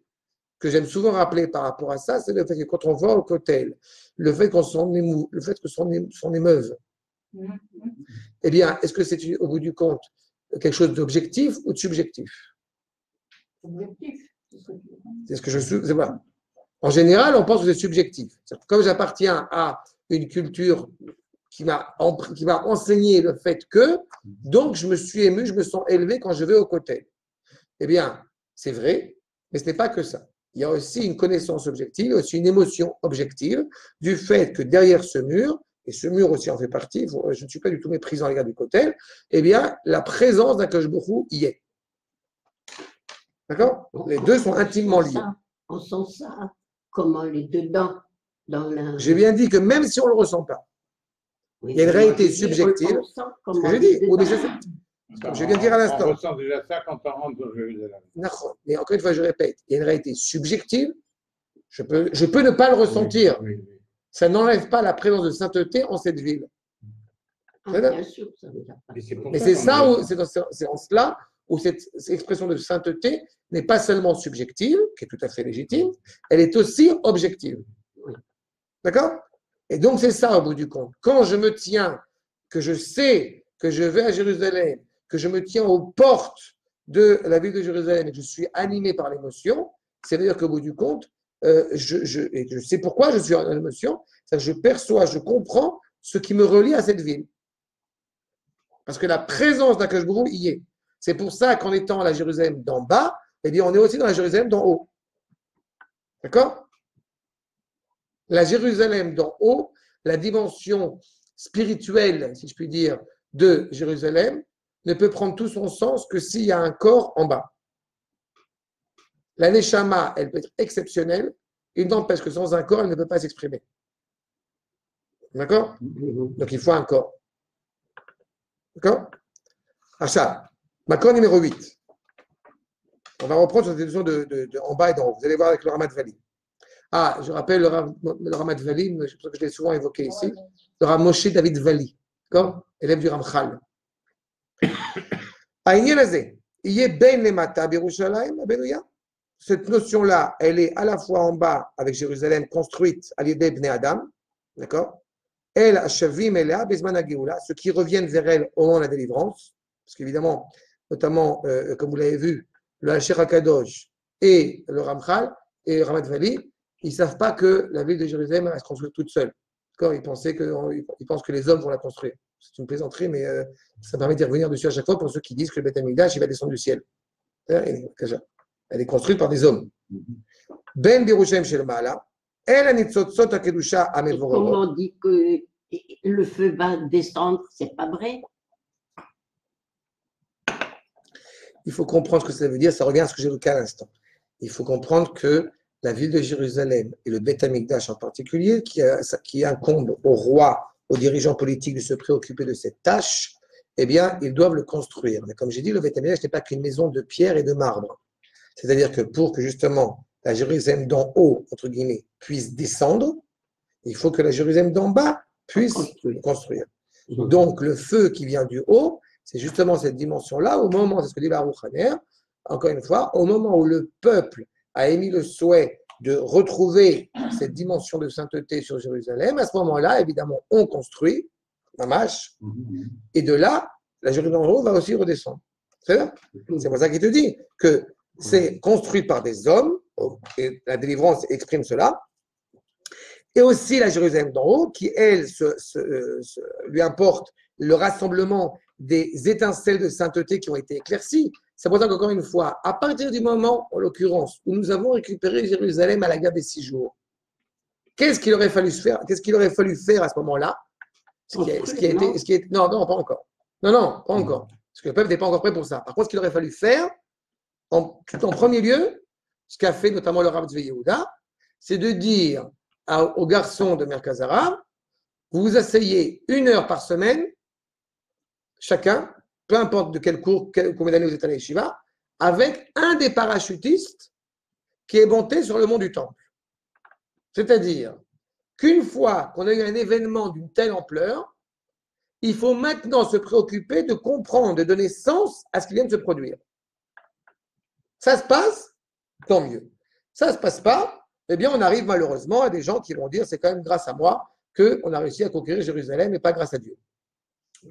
D'accord? Ça, c'est trois jours après. Quel Dayan? Ah. Trois jours après, bon, on connaît malheureusement les- la moralité de ce, de ce personnage, mais Ah, trois à jours part après, hein. trois jours après, il n'empêche que cette phrase a été dite. Alors que le jour même de la guerre des six jours, on entend, et en plus le Rav Kacher et le cite, Ze ayom asa Hashem bo. À chaque fois, j'aime beaucoup rappeler cela parce que c'est quand même impressionnant. C'est Yitzhak Rabin qui dit cette phrase, ce verset qu'on dit dans le Hallel, Ze ayom asa Hashem. C'est ce jour-là que Akash Hu a fait quelque chose de grand, nagila v'nismecha bo, et nos maîtres se, discutent, Nes- nismecha bo, c'est-à-dire qu'on va, on va réjouir à Kadosh Baruch. C'est pas le Rav Goren qui a dit ça, c'est Yitzhak Rabin, qui ne peut pas être soupçonné d'avoir euh, d'avoir une religiosité euh, euh, plus extrême. N'est-ce pas? Donc il y a une prise de conscience qui est au-delà de le- le- mentalement. Il s'est rendu compte. Même pas rendu il n'est même pas conscient de ce qu'il vient de dire. Mais il y a la Neshama qui est là. Oui, c'est. Une fois que cette Neshama-là, elle est présente, qu'elle s'est, voilà, euh, elle est hors temps, eh bien, il faut commencer à éclaircir cela. Ce qui va permettre, poursuit le Ramat Vali, Chubroula Yardav, qui est Yerushalayim Shel Mala, vous voyez, Inishmata chez Yerushalayim Shel Mata. La Jérusalem d'en haut est l'âme de Jérusalem d'en bas. Si tu ne donnes pas de vitalité à l'âme, à la Neshama, alors c'est très dangereux. L'unité qui est en train de se constituer ne peut pas être, ne peut pas être ultime, ne peut pas être authentique. Il va lui manquer quelque chose. D'accord?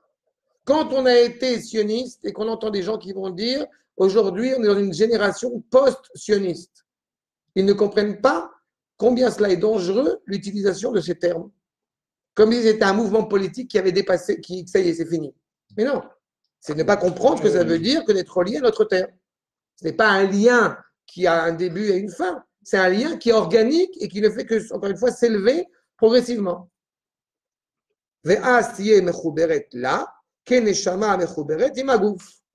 C'est pour ça qu'encore une fois, euh, euh, euh, c'est comme avait dit euh, euh, euh, Benny Lévy quand il parlait d'un judaïsme, sans, sans- sans- un, un juif sans judaïsme, ça n'avait pas de sens. C'est pas? C'est un petit peu ça. C'est qu'au bout du compte, c'est un corps sans neshama. C'est triste. Mais il y, a une, il, y a une, il y a une flamme à l'intérieur qui demande qu'à éclore. Mais c'est tout le problème. À Sodhu, nous dit le Rav, Yerushalayim Abenouya Malchut. Première, dans les dix sphirotes, dans les dix attributs, dans les dix expressions de la volonté d'Akadosh Baruch la Yerushalayim reconstruite en bas, c'est l'évocation de la royauté. C'est-à-dire, au bout du compte, qui va permettre, en l'occurrence, de, de, de, de- d'y donner beaucoup plus de sens. C'est-à-dire qu'à partir du moment où justement on a une entité politique Et encore mieux quand c'est évidemment entité de David, qui revient à la source. C'est à ce moment-là où il y a Keir Shechoubra la Yarda, autre sphira qui est la Bina. C'est quoi Bina? Encore une fois, il faudrait faire des cours euh, de- de- des heures là-dessus, mais euh, pour comprendre un peu l'essentiel, Bina, ça vient de Bain. C'est la capacité à distinguer une chose d'une autre. D'accord? C'est-à-dire que même quand effectivement on a reconstruit Jérusalem, on est à Jérusalem, il faut encore faire un travail pour bien enlever toutes les scories, pour bien euh, être distinct de tout ce qui pourrait au bout du compte nuire à cette réunion ultime de Jérusalem. D'accord? On est conscient d'avoir une neshama, si je prends au niveau de l'individu. On est conscient d'avoir une neshama, on est conscient d'avoir un corps. C'est pour ça qu'on est automatiquement un tzaddik d'amour. On a du boulot. Chez Az, Tiye Mechouberet là, donc il y aura un lien fort, vigoureux, chez Loyehod Peruda Beneo. Il n'y aura plus de distinction entre les deux. Il n'y aura plus de séparation entre les deux. Encore une fois, on sait très bien que, euh, le rappelle le Ramchal, quand le deuxième quand le, premier Betamikdash arrive à la destruction, le deuxième Betamikdash d'en haut est déjà en train d'être préparé. Quand le deuxième arrive à être construit, etc., arrive à la fin de, son règne, de son cycle, si je puis dire, le troisième d'en haut est déjà en préparation. Et le Ramchal développe l'idée que pourquoi est-ce que le Beth est détruit? Parce qu'il y a une, inadéquation, si je puis dire, une scission entre le Beth Amikdash d'en haut et le Beth Amikdash d'en bas. C'est-à-dire que le Beth Amikdash, le premier, il a un rôle bien défini. Quand il n'arrive plus à comprendre le rôle qu'il doit tenir au moment où il va arriver justement, qui va- le mener à sa destruction, c'est parce qu'encore une fois, le rôle qui doit être tenu maintenant, on va dire ça en, en deux mots, le premier Beth Amikdash était essentiellement spirituel, le deuxième est matériel, le troisième est la symbiose, la cohérence des deux. C'est pour ça qu'il prend beaucoup plus de temps à être construit. Mais quand le premier Beth Amikdash s'arrête s'arrête à être spirituel, ça ne peut que échouer. Quand le deuxième Beth Amikdash n'est que matériel, il ne peut que échouer. Il faut une cohésion, il faut une symbiose. D'accord? Il faut cette union. D'accord? Arshav, Meir Hashem, Kol.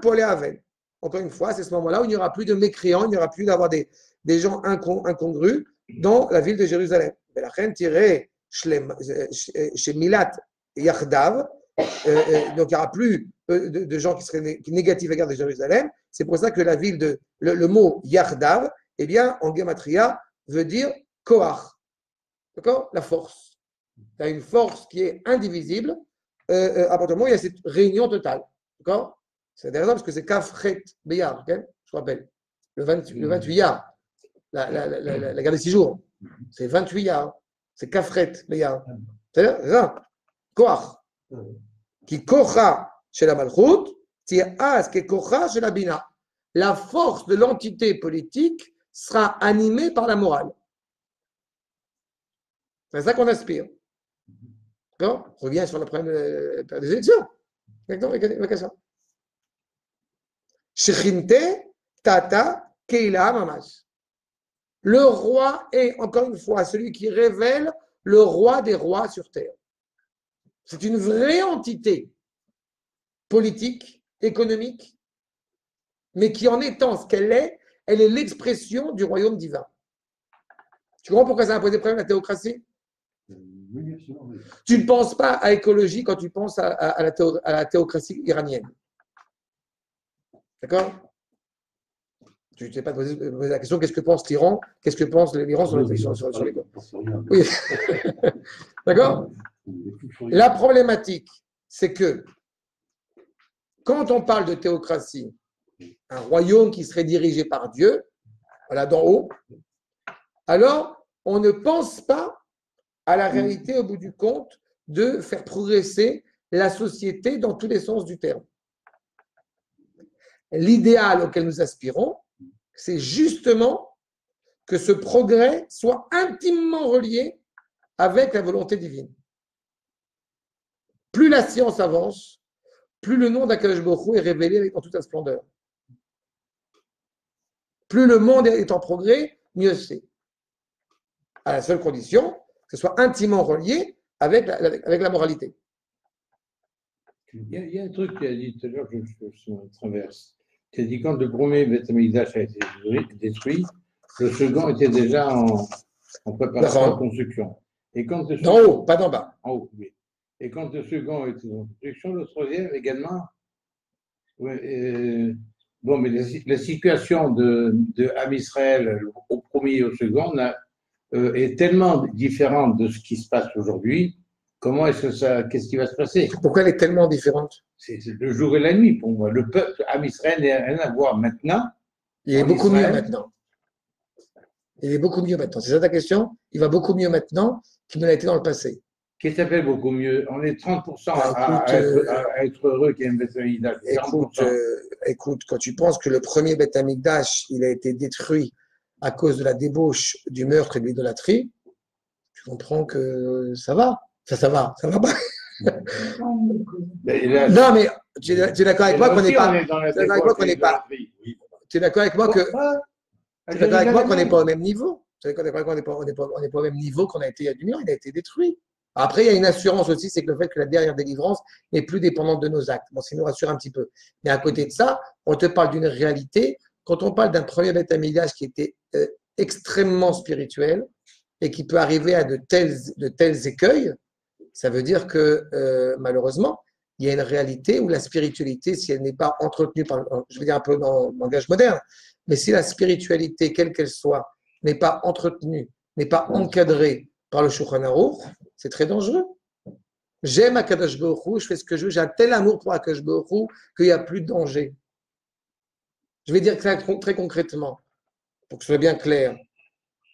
Euh, euh, si un rave donne des conseils à des femmes mariées, c'est-à-dire, et qu'il oublie Shulchan Aruch, vous comprenez ce que ça veut dire? En admettant même qu'il soit sincère, en admettant, allez. Il n'empêche que ça peut arriver à toutes les, malheureusement, des, des- des épisodes qui sont particulièrement douloureux et qui sont profondément euh, profanation du nom d'Akadosh Hu. J'ai tellement envie d'aimer mon élève, d'aimer la personne que je vais euh, aider, que j'oublie qu'il y a, il y a des règles dans la halakha qu'il ne faut pas dépasser et qu'il faut garder justement ces distances. Par exemple. Donc, quand tu dis effectivement euh, aujourd'hui par rapport à ce qu'on a été dans le passé, je peux t'assurer que malgré toutes les difficultés, on est beaucoup mieux aujourd'hui. N'oubliez pas le schisme qu'il y a eu a- après Shlomo au niveau de la royauté politique. Malgré tout, en dépit des désaccords, tu as un seul État, tu n'en as pas deux. On va continuer. À l'époque du deuxième Beth que les gens euh, disent on va comparer, mais que c'est L'époque du deuxième Beth Amikdash, Ezra et Nehemiah sont en train d'enseigner aux Juifs qu'on ne se marie pas avec des goyotes. Ils étaient tous avec leurs goyotes en Israël. De quoi vous parlez? On ne va pas comparer la réalité actuelle, Baruch Hashem, où la plupart, jusqu'à preuve du contraire, se marient avec Rupa et Kiddushin, ou, euh, euh, ce qui n'était pas, pas le cas il y a 2000 ans. Mais C'est la même chose là maintenant. Et, et peut-être beaucoup de gens en parlent encore, il ne faut pas se les Je n'ai pas dit qu'ils n'en parlaient ça, pas. ça fait longtemps. Mais c'est. Parce qu'encore une fois, c'est ce qu'on reprend tout à l'heure, ce que je dis à l'instant. Il faut constituer la, la Neshama, il faut constituer à l'intérieur. Mais tu vois bien qu'encore une fois, on est, pas, on est dans une situation où il y a plus de défis que dans le passé.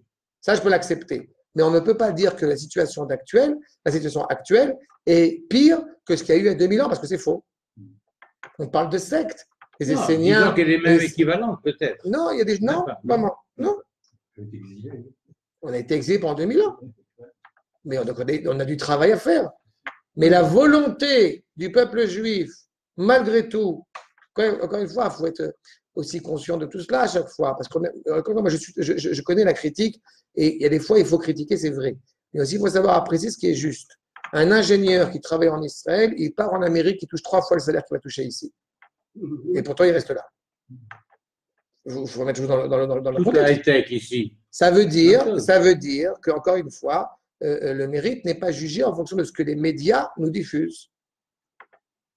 D'accord? Il y a des juifs qui ont une kippa sur la tête qui disent des grosses bêtises, il y a des juifs qui n'ont pas une kippa sur la tête qui disent pas de bêtises. J'ai vu un enfant, un gosse, au Hachem, il n'y a pas là aujourd'hui, avec des bonnes péotes, un bon garçon de Ben Torah, il a, bu, il a bu son verre, tac, il a jeté par terre. J'ai failli lui faire la remarque. Parce que je trouve ça scandaleux. J'ai hésité. Parce que je ne sais pas son père, ça m'a éduqué, mais bon, je vais encore m'embarquer dans un truc. Mais je trouve ça scandaleux. Et voilà ma question est. Donc, oui, bien sûr qu'il y a des problèmes. Mais il n'empêche qu'encore une fois, notre peuple revient à une sérénité, à une santé beaucoup plus forte. Mais il est clair qu'on a encore beaucoup de travail. D'accord? Non, c'était juste, j'étais impatient de, Achat. de, de signer. de- de La génération actuelle, la génération qui est la nôtre, doit être armée de, euh, de nerfs d'acier. C'est-à-dire, ce n'est pas pour rien, je rappelle que les Chachamim, dans le traité de Sanhedrin, se sont posé la question si ça valait le coup de naître à l'époque de la délivrance ou non. C'est-à-dire, Oui. C'était c'était particulièrement douloureux. Mais on voit que bon, il y a des critiques, il y en a à faire. Mais il y a aussi beaucoup de choses exceptionnelles à mettre en évidence. Arsham, chez Cham, Makor numéro 9. Pourquoi c'est là-bas? Qui? Les Cham, Alou, Shivatim, Shifte, Ya. Pourquoi une répétition donc du terme de tribu? Pourquoi on parle de là-bas? Et cas, ça touche la question que tu évoques maintenant. Veitrabru, Kulam, Aliede. Ils se sont reliés tous grâce à la ville, sans évoquer la problématique de la tribu. Si on parle à la guerre des six jours de Juifs qui étaient proches de la Torah et des Juifs qui étaient loin de la Torah, combien de témoignages ai-je pu entendre de gens qui étaient totalement, pour reprendre sur cette expression de Lévy, qui étaient totalement déjudaïsés, qui arrivent la guerre des six jours, alors il y a un réveil exceptionnel. En Israël, des gens racontent le Rav Kacher, des témoignages. Le Rav Menachem Kacher, les gens sont sortis dans la rue danser. Ça a eu un tel impact que, euh, euh, euh, c'est triste, même j'ai envie de dire, ça a eu un tel impact, une telle euphorie, que la guerre de Kippour, les premiers jours de la guerre de Kippour, enfin les premiers moments de la guerre de Kippour, les gens étaient persuadés qu'on va y aller sur un pied. Et malheureusement, on n'est pas allé sur un pied, parce qu'il y a eu des. Euh, mais, mais c'est relié à ça. Après, il y a un problème d'orgueil, mais il y a eu une sorte de. On va leur balancer des crèmes sur la figure. Mais au bout du compte, il y a quelque chose qui est exceptionnel. Ils se sont réunis, la ville a, une inspiration, a une, répercussion sur le peuple. Aledea Irazot, Hachi et doute l'Israël, à tel point qu'elle est un témoignage justement de l'unité d'Israël. Shem Goy Echad Mitachadim. Vous savez que quand le peuple se retrouve, eh bien, parfois il arrive, il ne se reconnaît pas. D'accord? Il- il- est, il est de Meknes, il n'est pas de chez nous. Il est badass, c'est pas pas chef de Rabban. C'est encore un autre problème. Bon, en tous les cas, le fait de reconnaître cette unité du peuple. Bema shekula sham. Le fait que justement ils se réunissent tous ensemble. Quand j'évoquais tout à l'heure les fêtes de pèlerinage, il faut toujours avoir ça aussi en tête. Vous avez le peuple tout entier qui se retrouve à Jérusalem. Il ne s'est pas vu pendant un an. N'a pas le temps de, de- de- de- s'absenter de sa terre. Et il retrouve ses cousins, et il retrouve ceux. Ah, il est né le petit. Ils se retrouvent tous. Il nous dit Mitkaptit Sham, Beshlosh Moadé Hashana, aux trois fêtes de pèlerinage. Les Tachlit Echad, avec une seule finalité, Léodot Leshem Hashem. Remercier, honorer Akash Baruch Hu. Hacha Tachlit Azeh, Léodot Leshem Hashem, ou à Koach. Qu'est-ce qui permet une réelle union Parfois, c'est malheureusement assez galvaudé ce terme d'unité du peuple.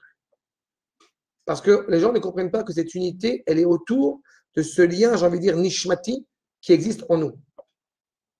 D'accord? Qu'est-ce qui manque à l'armée? Pourquoi est-ce qu'on arrive à de telles conclusions parfois douloureuses à l'armée? Parce qu'il manque un enseignement qui soit authentique, qui soit cohérent.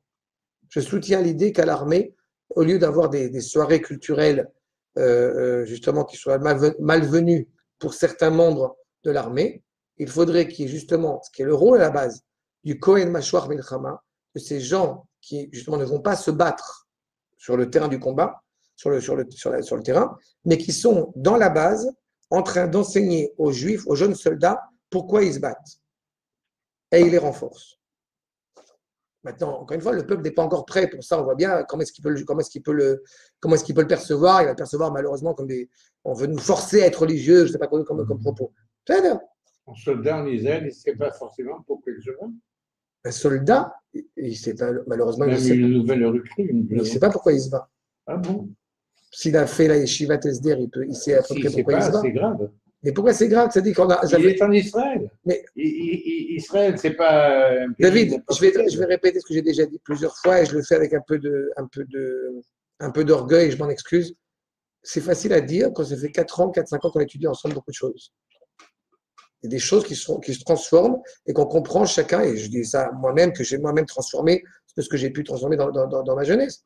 Mais un jeune homme qui a, qui a fini le bac, qui a passé le bac, qui a reçu pas forcément une éducation euh, avec ses valeurs, il y va parce qu'on va à l'armée, parce que c'est parti, c'est la loi, c'est obligatoire. Bien sûr.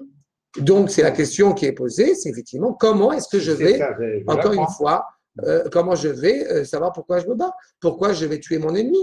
Et on sait très bien les implications, euh, politiques et morales, surtout morales, qu'elles ont derrière. En tous les cas, c'est ce qui entre ici. Cette force-là qui permet au bout du compte que pourquoi on se bat, au nom de quoi on se bat, au nom d'Akadosh. Le nom de Dieu qui nous relie tous ensemble, qui est l'expression de notre âme. Veu chaya gavia aklalit. C'est la vie de la nation, du corps de la nation tout entier. Aux yeux de beaucoup, pour l'instant, je répète, le nom d'Akadosh Hu, l'évocation d'Akadosh Hu, c'est considéré comme un truc de religieux. Vous voyez qu'il y a un problème. On est encore dans le problème de euh, séparation ou unité de la religion et de l'État. Quand euh, le député euh, russe qui nous embête un petit peu, qui parle de séparation de la religion et de l'État, c'est qu'il pense que de toute façon, ce sont deux- ce sont deux notions totalement distinctes. Alors même si en réponse, on va dire non, c'est pas vrai, il faut unir la religion et l'État, mais c'est que comme ça ou comme ça, on parle au bout du compte de réalité où la terre d'Israël et la Torah seraient deux réalités distinctes, alors qu'elles ne le sont pas. D'accord? La vraie unité, ce n'est pas au bout du compte un consensus. Ce n'est pas vrai. Une expression qui fait beaucoup rire, c'est euh, euh, euh, viens, soyons d'accord que nous ne sommes pas d'accord. C'est genre, allez, bon, viens, on arrête le truc, euh, chacun. Mais non. C'est très bien de, pouvoir discuter des idées, de pouvoir, mais d'arriver avec un seul objectif, la vérité. Achab. Et là, justement, cette ville de Jérusalem inspire vers, ce- vers cela. Aïr chez Shamit Kapsu, cette ville qui vers là-bas vont se rassembler, donc tous les membres du peuple, Ikemo Alev, elle est comme le cœur, chez Botachul, roi Chachaim, que va commencer, que va débuter le souffle vital, Amechaye et Agevia, qui donne vie au corps, ou Mekarev à Atzamot, Amefuzarot, et Etsem El Atzmo, et qui au bout du compte rassemble les os qui étaient euh, euh, séparés, qui étaient euh, euh, tout- dans tous les sens. Pourquoi c'est Cham? Je reprends la question que j'ai évoquée tout à l'heure. Pourquoi c'est Cham? Et pourquoi une répétition de tribus, les tribus, tribus de Dieu? Parce que cet, accès à la vérité, cet accès au projet divin est long. Et long et surtout doit être animé par euh, l'humilité. Je répète, si je dis la vérité, elle est chez moi, c'est la preuve que la vérité, elle n'est pas chez moi. C'est-à-dire, J'ai la vérité. C'est c'est moi, c'est que moi. Si je dis Cham, c'est que je sais qu'il y a une dimension élevée, profondément. Oui, la vérité existe, c'est un- c'est pas pas de moi, mais elle n'est pas chez moi. Elle est dans la, dans la cohésion, dans la compréhension de toutes les forces qui se relient autour du projet divin. C'est les Jvatim, donc tous les membres de la nation, qui se réunissent ensemble pour être shifté Ya, pour être les tribus de celui qui a créé le monde, ce monde-ci et le monde suivant avec deux lettres. Je le rappelle, Yud et Hei, le monde suivant Yud, le monde ci Hei, et c'est les deux premières lettres du nom d'Akadosh Baruch. D'accord? Cette évocation-là, c'est ça. C'est qu'on est tous ensemble pour, au bout du compte, servir la même cause, c'est-à-dire la révélation du nom divin. Celui qui dirait certains membres du peuple ne servent à rien, eh bien, j'en suis navré. Il est tout à fait possible que la manière dont ils servent les intérêts ne sont pas forcément comme il faut, parce que justement, ils ne reconnaissent pas l'apport de chaque membre de la nation, mais on ne peut pas dire que, euh, euh, euh, je ne sais pas, par exemple, je ne suis pas sûr que si au jour d'aujourd'hui à la Knesset, il n'y avait que des gens qui avaient une kippa sur la tête, je ne suis pas certain que la situation serait mieux. Par exemple. Et à l'inverse, je ne suis pas certain que si effectivement il n'y avait pas de gens qui défendaient aussi, euh, euh, qui avaient des intérêts euh, au nom de la Torah, n'étaient pas à la Knesset, je pense que ce serait aussi un problème. D'accord? On peut être un- un- quelqu'un de très. justement, il y a encore un élève qui m'a dit cette semaine pourquoi est-ce que les, les rabbins de la Yeshiva, pourquoi on n'est pas dans la politique? Je dis chacun a un rôle. La politique, c'est très compliqué. C'est faire des compromis, c'est rentrer dans un. Dans un dans c'est parler à un peuple, c'est parler dans des réalités que, encore une fois, qui ne peuvent pas convenir forcément à tout le monde. L'objectif de quelqu'un qui enseigne la Torah, c'est transmettre des valeurs, transmettre la vérité. Après, comment est-ce que la mettre en pratique? C'est là où on va voir les sens spécialistes. Je peux donner le sens tel que je le vois, tel que j'ai étudié. Je peux donner le sens de l'économie, euh, l'âme de l'économie qui doit animer l'économie. Au grand jamais, je me, permets de- permettrai de donner des lois d'économistes, puisque je ne suis pas économiste. Et ça serait malvenu d'ailleurs. Hein? Ce sont deux nuances totalement diffé- di- différentes. Donc chacun, au bout du compte, participe, c'est une fédération, et chaque membre du peuple, pour justement accéder à cette union. D'accord? Archal, ça va, c'est clair? Le Rav David Kimchim, accord numéro 10. Qui shama, yeshvu qui saot la mishpat. Pourquoi justement plusieurs chaises qui saot Parce que nous dit le Radak, la shon rabim, chad la shrina, vechad le malki David. Une pour la présence, la résidence divine, l'autre pour la royauté. Je vous pose la question, où y a-t-il un État dans le monde qui est axé sur ces deux dimensions-là? Que. C'est-à-dire la résidence divine et- et l'État politique. Est-ce que le Vatican répond à l'État? Non, non, mais c'est une très bonne question. Je dis que tu plaisantes, mais tu vois, tu vois- tu vois le problème? Il n'y a pas un État dans le monde qui répond à ça. Il n'y a pas qui peut. pas. Et Israël, on n'y est pas encore. Non, Mais enfin, on avance. Mais, c'est clair qu'il n'y a que Israël qui peut, qui peut répondre à ça. Tous les pays musulmans ne se préoccupent pas, encore une fois, de la société et de la cohésion de la société. D'accord? Et le Vatican, en l'occurrence que tu évoques, même dans leur cadre évidemment totalement abject, il n'empêche que la seule chose qui les préoccupe, c'est ça, c'est Dieu. Mais ils n'ont aucune charte morale, aucune charte économique, aucune charte militaire, aucune rien du tout. Mm. C'est ça au bout du compte. Qui sort de la mission C'est ça. Si on ne vit pas dans, comme j'aime souvent le- rigoler là-dessus, on n'est pas dans bisounours. C'est une réalité totalement concrète. La Torah est donnée à des hommes qui doivent générer, régir la société avec ses problèmes. Dans le but d'amener à la résidence divine de pouvoir résider pleinement. Mais il n'y a pas un peuple qui a des navires. Ils ont le roi, mais ils n'ont pas les navires. Et alors? Alors Israël, elle a le navire, alors elle Bon, D'abord, certains qui disent que, notamment que le Rav Kook avait déjà des, des prémices de prophétie renouvelées, mais c'est vrai ce que tu dis, mais j'ai même pas évoqué ça. Le prophète, encore une fois, c'est encore autre chose. David est évidemment animé par la prophétie, mais quand on dit de Malchut David, on ne va pas de prophète.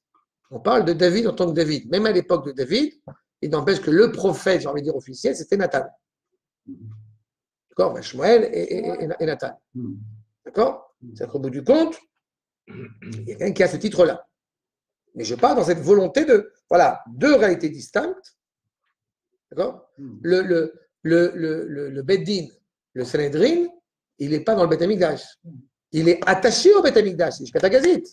Mais il n'est pas le Beth Amikdash. On ne règle pas les problèmes avec le pontife. On règle le problème avec le juge. D'accord Oui, absolument. Je veux dire, c'est- c'est- Ce que tu viens de dire, oui, c'est parfaitement euh, cette réalité. oui. Tu as le métamidage avec. נכון, mais c'est collé l'un à l'autre, bien sûr. כמו שמפורש, כיסאות לבית דוד, היו שם, והיו שם עוד. D'accord Évidemment, il importe au roi idéal d'avoir une Torah sur lui pour que ses actes soient tout à- toujours animés par la morale. Justement, c'est au nom de cela qu'il prend tout son sens. Et Sanhedrin, qui conseille de ce. Oui, Il le conseille, mais il peut en faire ce qu'il veut. Oui, d'accord. il Donc la Torah, il vivante. il n'est pas Oui. forcé de faire ce que son Sanhédrin lui dit. Ça dépend si c'est au niveau, euh, euh, si c'est au niveau individuel ou au niveau collectif. Mais même au niveau collectif, au bout du compte, c'est le roi qui prend les décisions. S'il a fait une erreur, il réglera les comptes avec Akadosh Baruch euh, devant. On a eu des rois qui étaient très problématiques. On en a eu quelques-uns. Oui. En tous les cas, nous dit justement, on reprend, Sha'alou, vous avez voulu, vous le souhaitez, la sérénité. Donc, on a déjà effectivement cette situation de l'idéal auquel nous aspirons. Maintenant, tout cela, encore une fois, je répète, ne prend son sens qu'au moment où le peuple en fait le souhait, on fait la demande. D'accord? Macron numéro 11. Sha'alou. Omrim bnei agalout. Disent ceux qui, qui sont en exil. Sha'alou mea el idbarach. Shalom Yerushalayim. Qu'est-ce qui s'est produit il y a 70 ans qui ne s'est pas produit il y a 200 ans, 300 ans, 400 ans? Tous les ans, on dit l'an prochain à Jérusalem, et pourtant, ça ne s'est pas produit. Parce qu'il y a 100 ans, il y a quelqu'un qui s'appelle Herzl, notamment, enfin avant lui, il y a le Rav Kalaï, il y a le Rav Kaliché, alors- mais en tout cas, il s'est produit quelque chose qui a fait que ça y est, c'est en train de se mettre en place. Pourquoi? Parce que Jbechou a dit, ça y est, ça suffit, il est temps. Mais au bout du compte, il a fallu avoir une demande, pas au niveau individuel, c'est un pluriel, je rappelle, Sha'alou. Le fait qu'il y a eu des Chachamim qui ont traversé l'histoire, et le Rav de Paris, le Rambam, le Ramban, qui sont tous passés par Akko, Rachem Akadosh, et qui arrivent à Jérusalem, Rabbi Nachman de Breslet, ça, tout ça, ça existe à l'échelle individuelle, c'est vrai. Mais pourtant, il a fallu qu'il y ait une entité qui demande à Akash Hu, là, ça suffit, on en a marre de la profanation du nom divin qui est à Jérusalem. On veut que Jérusalem refleurisse. On veut que Jérusalem soit reconstruite. Shalom Yerushalayim. Mais Shalom Yerushalayim ou Kibbutz à Galouyot. D'accord? On parle de, réellement euh, euh, complétion, perfection de Jérusalem au moment du rassemblement des exilés. Pas une communauté, tout le peuple. Des quatre coins de la terre. Qui a et Lo yela shalom. Jusqu'au moment où le peuple va se retrouver autour de Jérusalem, eh bien, il n'y aura pas de paix. Il faut quand même se rappeler qu'une des festivités chez nos frères qui, viennent d'Éthiopie, le 29 Cheshvan, Chagasikt, c'était le moment où ils montent à la grande montagne de Addis Abeba là-bas. Et C'était 50 jours après Kippour, qui montent vers Jérusalem. Jusqu'au jour d'aujourd'hui, ce- cette coutume Éthiopie, elle est fêtée à Jérusalem. C'est quelque chose de phénoménal et beaucoup, de- et beaucoup de rabbinim qui ne sont pas d'origine éthiopienne, ils participent pleinement parce que c'est particulièrement émouvant avec ces vêtements qui sont colorés, blancs et, et festifs. Encore une fois, ce rapport à Jérusalem. D'accord? Je fais partie des gens qui, euh, loin de moi, euh, de trouver ça ridicule quand on voit ces films et quand on voit ces juifs, et les juifs éthiopiens que j'évoquais, mais d'autres aussi, qui arrivent en avion, qui arrivent en Israël. La première chose qu'ils font, c'est qu'ils embrassent le sol. Oui. Il y a une réaction, justement, qui, est- profondément noble. Et on ne peut qu'être ému de cela, mais c'est ça. Qui bouge Galiot.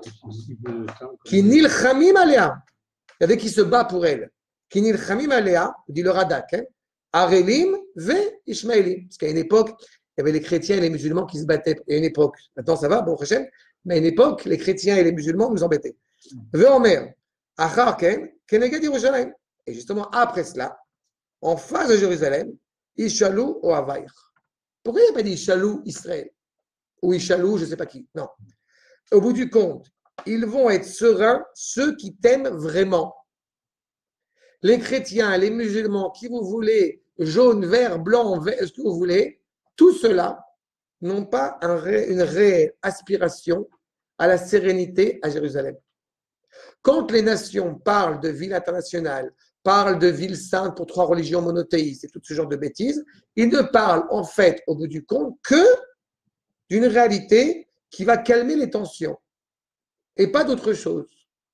J'ai beaucoup apprécié ce journaliste pas juif, un protestant, je crois, qui s'appelle un nom à composer. Franz Zvi, Ginberg, tout ça. Euh, à France Olivier Gilbert. Ouais. Il est journaliste au point. Et, et il est très, ben, je sais pas, je ne connais pas, Oui, oui. mais il est très sympathique sur ce qu'il pense sur titre, Israël. Ah. Et il dit à chaque fois, et je ne suis pas juif. Oh. Mais il a compris quelque chose qui a beaucoup amusé. Si vous remettez en cause le fait que Jérusalem soit la capitale de l'État d'Israël, mais il faut, il faut gommer l'histoire parce que c'est une réalité qu'on ne peut pas, qu'on peut pas remettre en cause. C'est qu'il a pris conscience de ce que malheureusement beaucoup de nations ne prennent pas conscience. Oui, bah, Une fois, c'est c'est mais la réalité, c'est qu'encore une fois, et ça va tout à fait dans ce sens, la réalité, c'est que depuis que Jérusalem est entre les mains d'Israël, les choses vont beaucoup mieux. VM Israël Bagalout, et ceux qui l'aiment vraiment, et comment je sais qu'ils l'aiment vraiment, nous dit le Radak, parce que M mitabelim al khorbana. Il n'y a pas une nation dans le monde. Vous aimez tellement Jérusalem, très bien.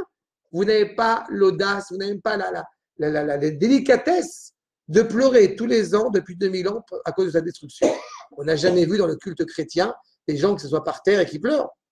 Enfin, qui se soient par terre et qui pleurent, ça ne me gêne pas, Dafka, mais, euh, par rapport à, la destruction de Jérusalem. C'est quelque chose qui est vraiment très. La fameuse référence de Napoléon. Quand on voit ce peuple qui pleure, on dit eh, Je pleure, ma maison a été détruite. C'est combien de temps? Ça fait 2000 ans. Si vous êtes capable de pleurer à cause de ça, ce peuple, encore une fois, il est éternel. Achab, comme on dit, celui qui, se, celui qui s'endeuille à cause de la ville détruite, il n'y a pas écrit il se réjouira. Kol amitabel al chorbana, sameach Il est déjà réjoui, elle est déjà construite. Il y a le privilège de voir ça déjà. Tu vois, encore une alors, je vais expliquer par rapport à Rabbi Akiva. Mais C'est par rapport à l'avenir. Là, on parle de, de l'état dans lequel il se met. Rabbi Akiva, il rigole pas, j'avais expliqué. Rabbi Akiva, il rigole pour ce qui se passe. Voilà. Il rigole parce que par, par confiance pour l'avenir. Mais je dis, celui qui euh, mit- mitabel al khorbana, sa mère bebinyana. Arshav. Mm. Arshav. Et le Ramat Valley, je reprends, Shalom Yerushalayim, Iazmana, l'école Israël, encore une fois, non seulement c'est effectivement une demande, mais le Rav poursuit, c'est aussi une, une, une invitation à tout Israël de demander Levakesh et Shalom Yerushalayim. Pourquoi est-ce qu'on pourrait vouloir la sérénité de Jérusalem?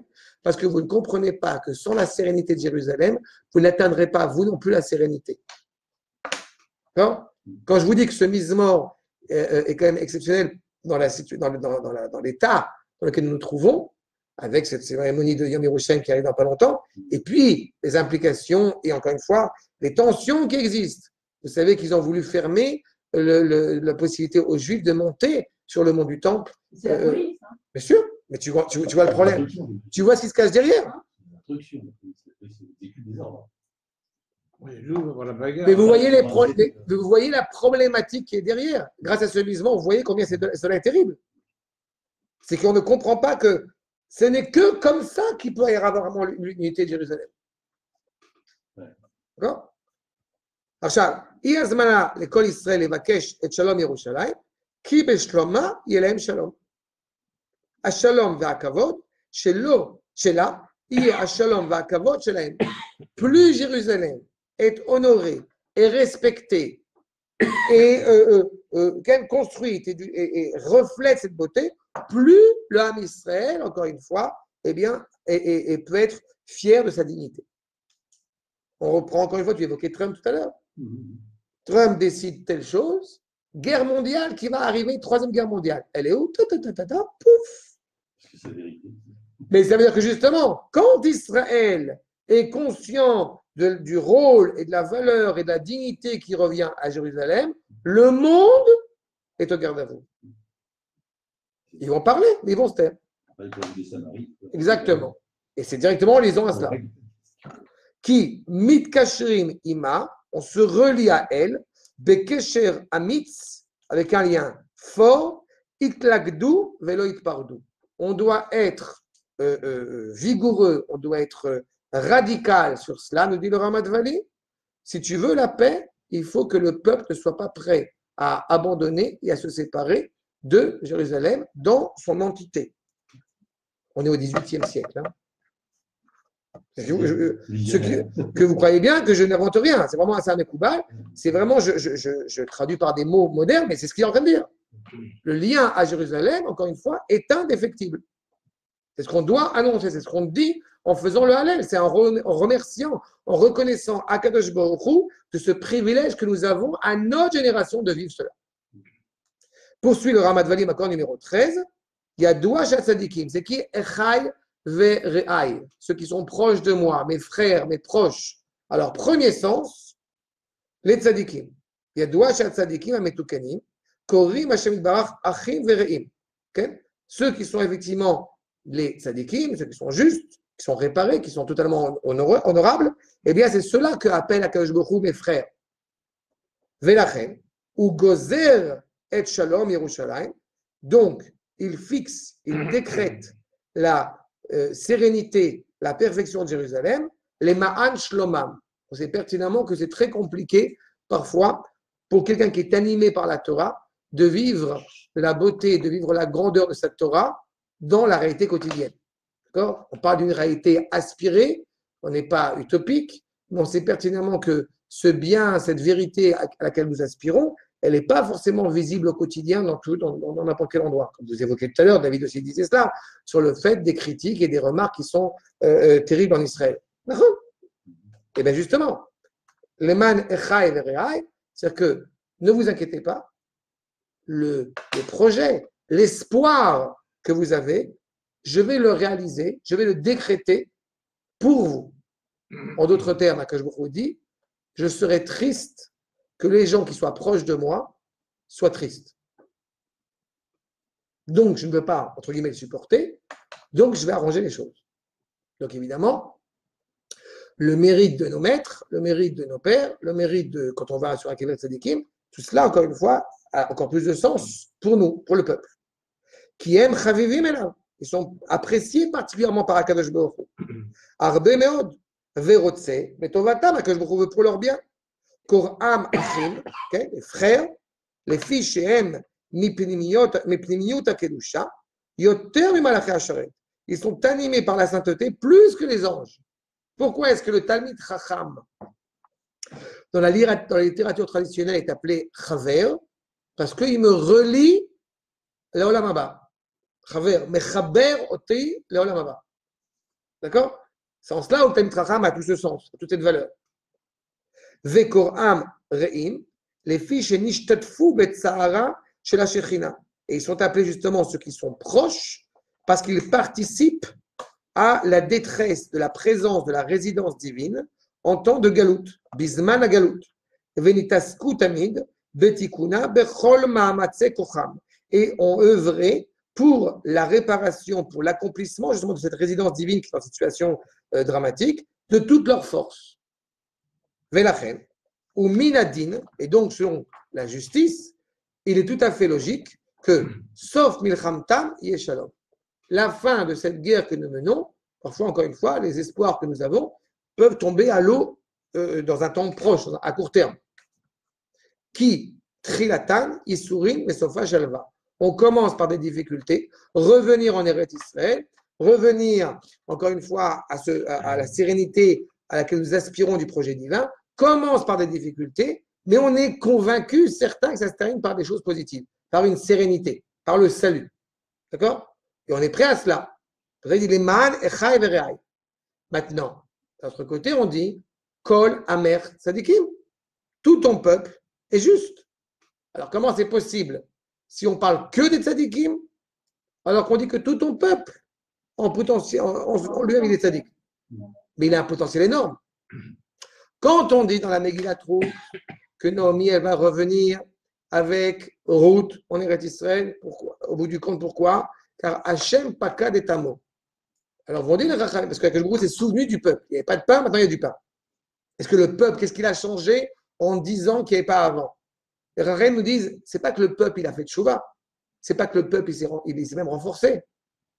Mais le fait même que le peuple, il est resté en Israël malgré les difficultés, c'est en cela un mérite. Parfois, il y a un mérite qui est effectivement parce que bah, on fait des choses, mais il y a aussi un mérite à- à- que, voilà, du fait qu'on soit là. Il peut y avoir des tensions entre le peuple et soudainement, il y a une guerre, il y a un renforcement. Ça nous donne le mérite. Je vais pas bien. Je dis. Et c'est ce que dit le Rav David Kimchi. Dans le premier temps, avec le Ramat Vali, on voit qu'on parle des tzadikim, alors que Davka, le Radak va inclure beaucoup plus de gens. Encore une fois, de rester juif quand il y a les inquisitions et les pogroms et compagnie, c'est déjà un mérite. Amar, là c'est vrai, d'accord? Kol echad, nous dit le Radak, Kol echad, mipnei agalut, leman achi Israël, chez Galou chez Galou imcha. C'est-à-dire qu'au bout du compte, pour chacun. Tout le peuple il a cette fraternité d'être relié à une communauté, de dire je m'affirme comme juif, je, m'assume comme juif, en dépit du fait que euh, euh, euh ce n'est pas forcément un privilège, c'est un lourd privilège. Ou la fameuse expression du professeur André Nier que j'aime beaucoup, le dur bonheur d'être juif. C'est un bonheur, mais c'est un dur bonheur quand même. Le Malbim, les Manechai Omer, Iné, le Toelet Echai Adaberana Shalom Bach. Voilà que le Malbim va, j'allais dire, ajouter. On a vu avec le Radat, il s'agirait de tout le peuple dans cet exil qu'il a traversé. Aux yeux du Ramad Vali, il s'agit des tzadikim. Et le Malbim va dire au bout du compte, tout ce qui concerne ce qui est utile au rassemblement de la nation pour former une nation euh, indépendante, forte, tout cela, à la fois au niveau physique, à la fois au niveau spirituel, tout cela, eh bien, au bout du compte, c'est pour cela, Adabrana Shalom Bach, Itluya Bashalom Animsa Bach. Tout cela dépend de la sérénité qui siège à l'intérieur de Jérusalem.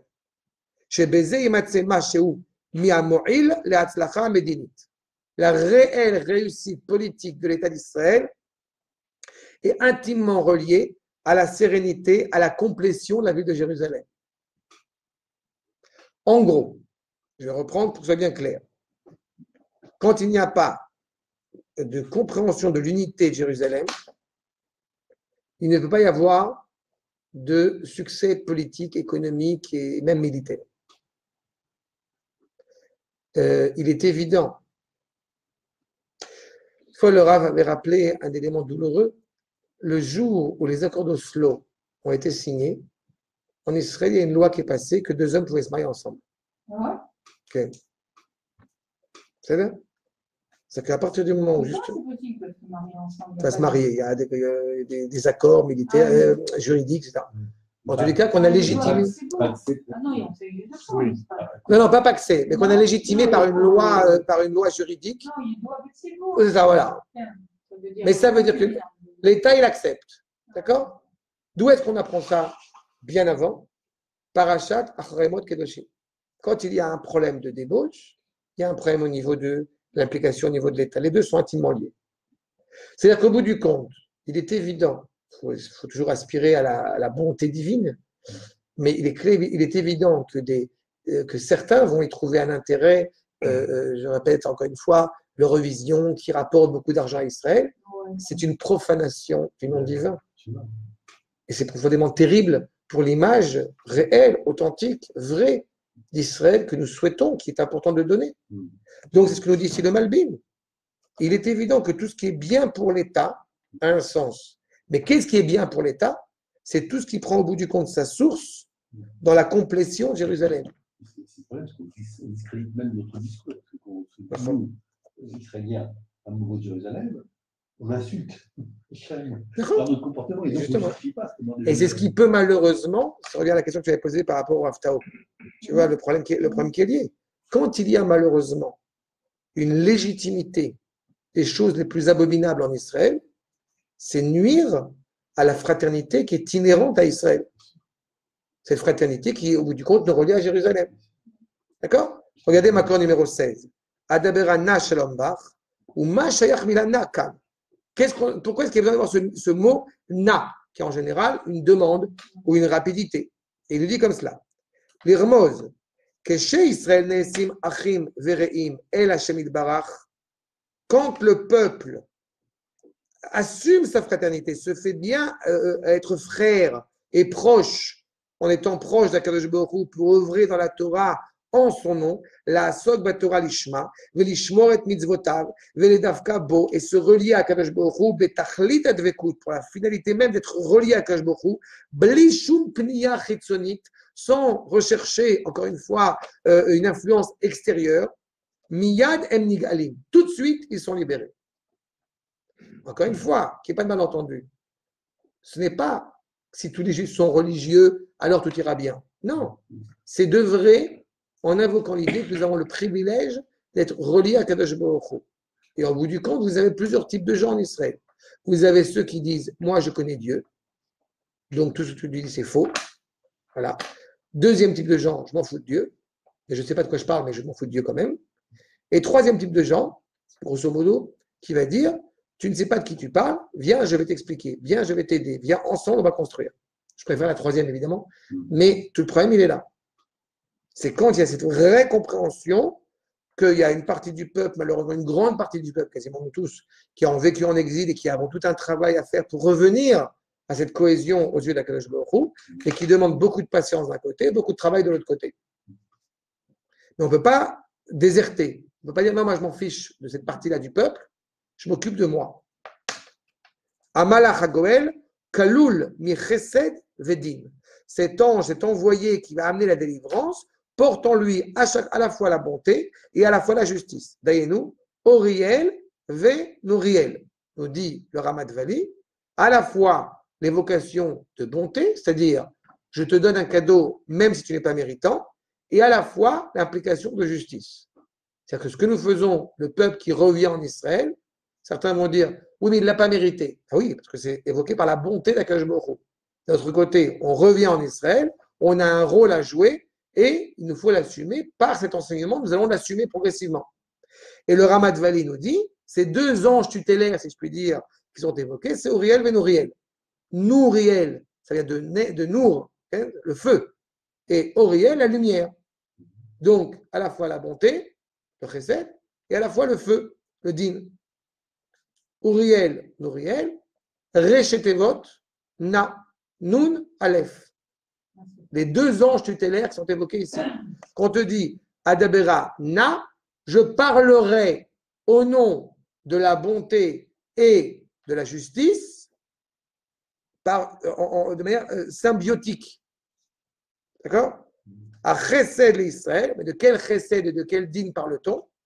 La bonté pour Israël, je suis bienveillant avec vous, pas parce que vous l'avez mérité, mais parce que vous êtes mon peuple, parce que béni Bechori Ata, parce que tu es mon fils aîné. Et j'invoque la justice, Ve'adin, Leumot Olam.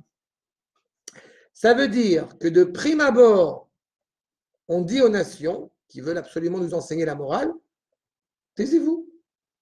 Ce n'est pas parce qu'on est plus moral ou moins moral que nous avons le privilège d'être ici, c'est parce que nous sommes le fils d'Akadosh Baruch Oui, nous sommes le fils de Dieu.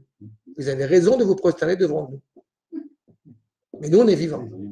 Nous, on est vivants, par contre, alors que la statue, elle est morte. et kocho. Et au bout du compte, nous recevons notre force de ce fondement animé par la sainteté. Kocho akadosh, sheu kalul mi chesed vegvura. Cet élément de sainteté qui est le nôtre, justement, il est relié à, au bout du compte, au Dieu de Abraham et au Dieu de Yitzhak. Et donc, le Dieu Jacob, Israël. Comprendre que quand nous, quand nous reconquérons Jérusalem, ce n'est pas par envie impérialiste, ce n'est pas par envie de, je ne sais pas, socialiste. Non, c'est par redonner le sens qui a été dans le coma pendant 2000 ans. Va dire le Rav Yehuda, il est temps d'annoncer au monde que, le nom de Dieu est revenu. 19 ans après la guerre d'indépendance. D'accord?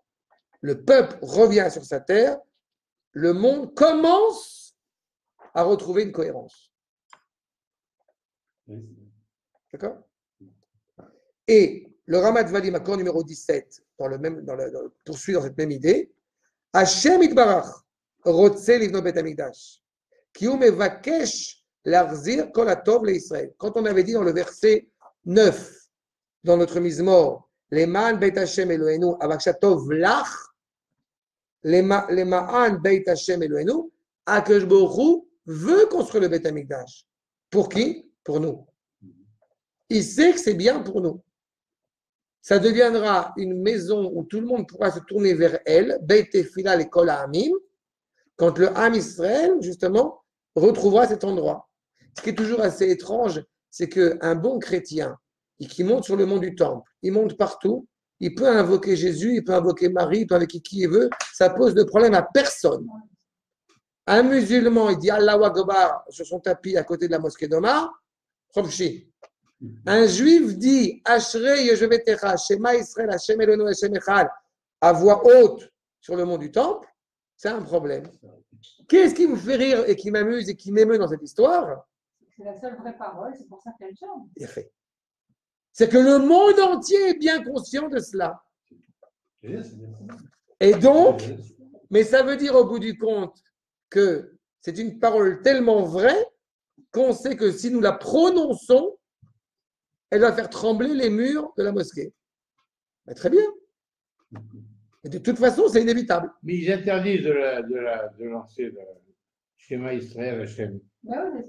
Il, il, il interdit, mais comment tu vas interdire Il faut aller jusqu'à pour l'interdire. Rassure-toi, rassure-toi, rassure-toi. ils arrivent à interdire. Ah, bon. rassure-toi, d'abord, Ah, ils ok, arrivent à bon. interdire, mais rassure-toi, on trouve des moyens. Voilà, parce que le temps qu'il arrive, C'est toujours avec beaucoup de.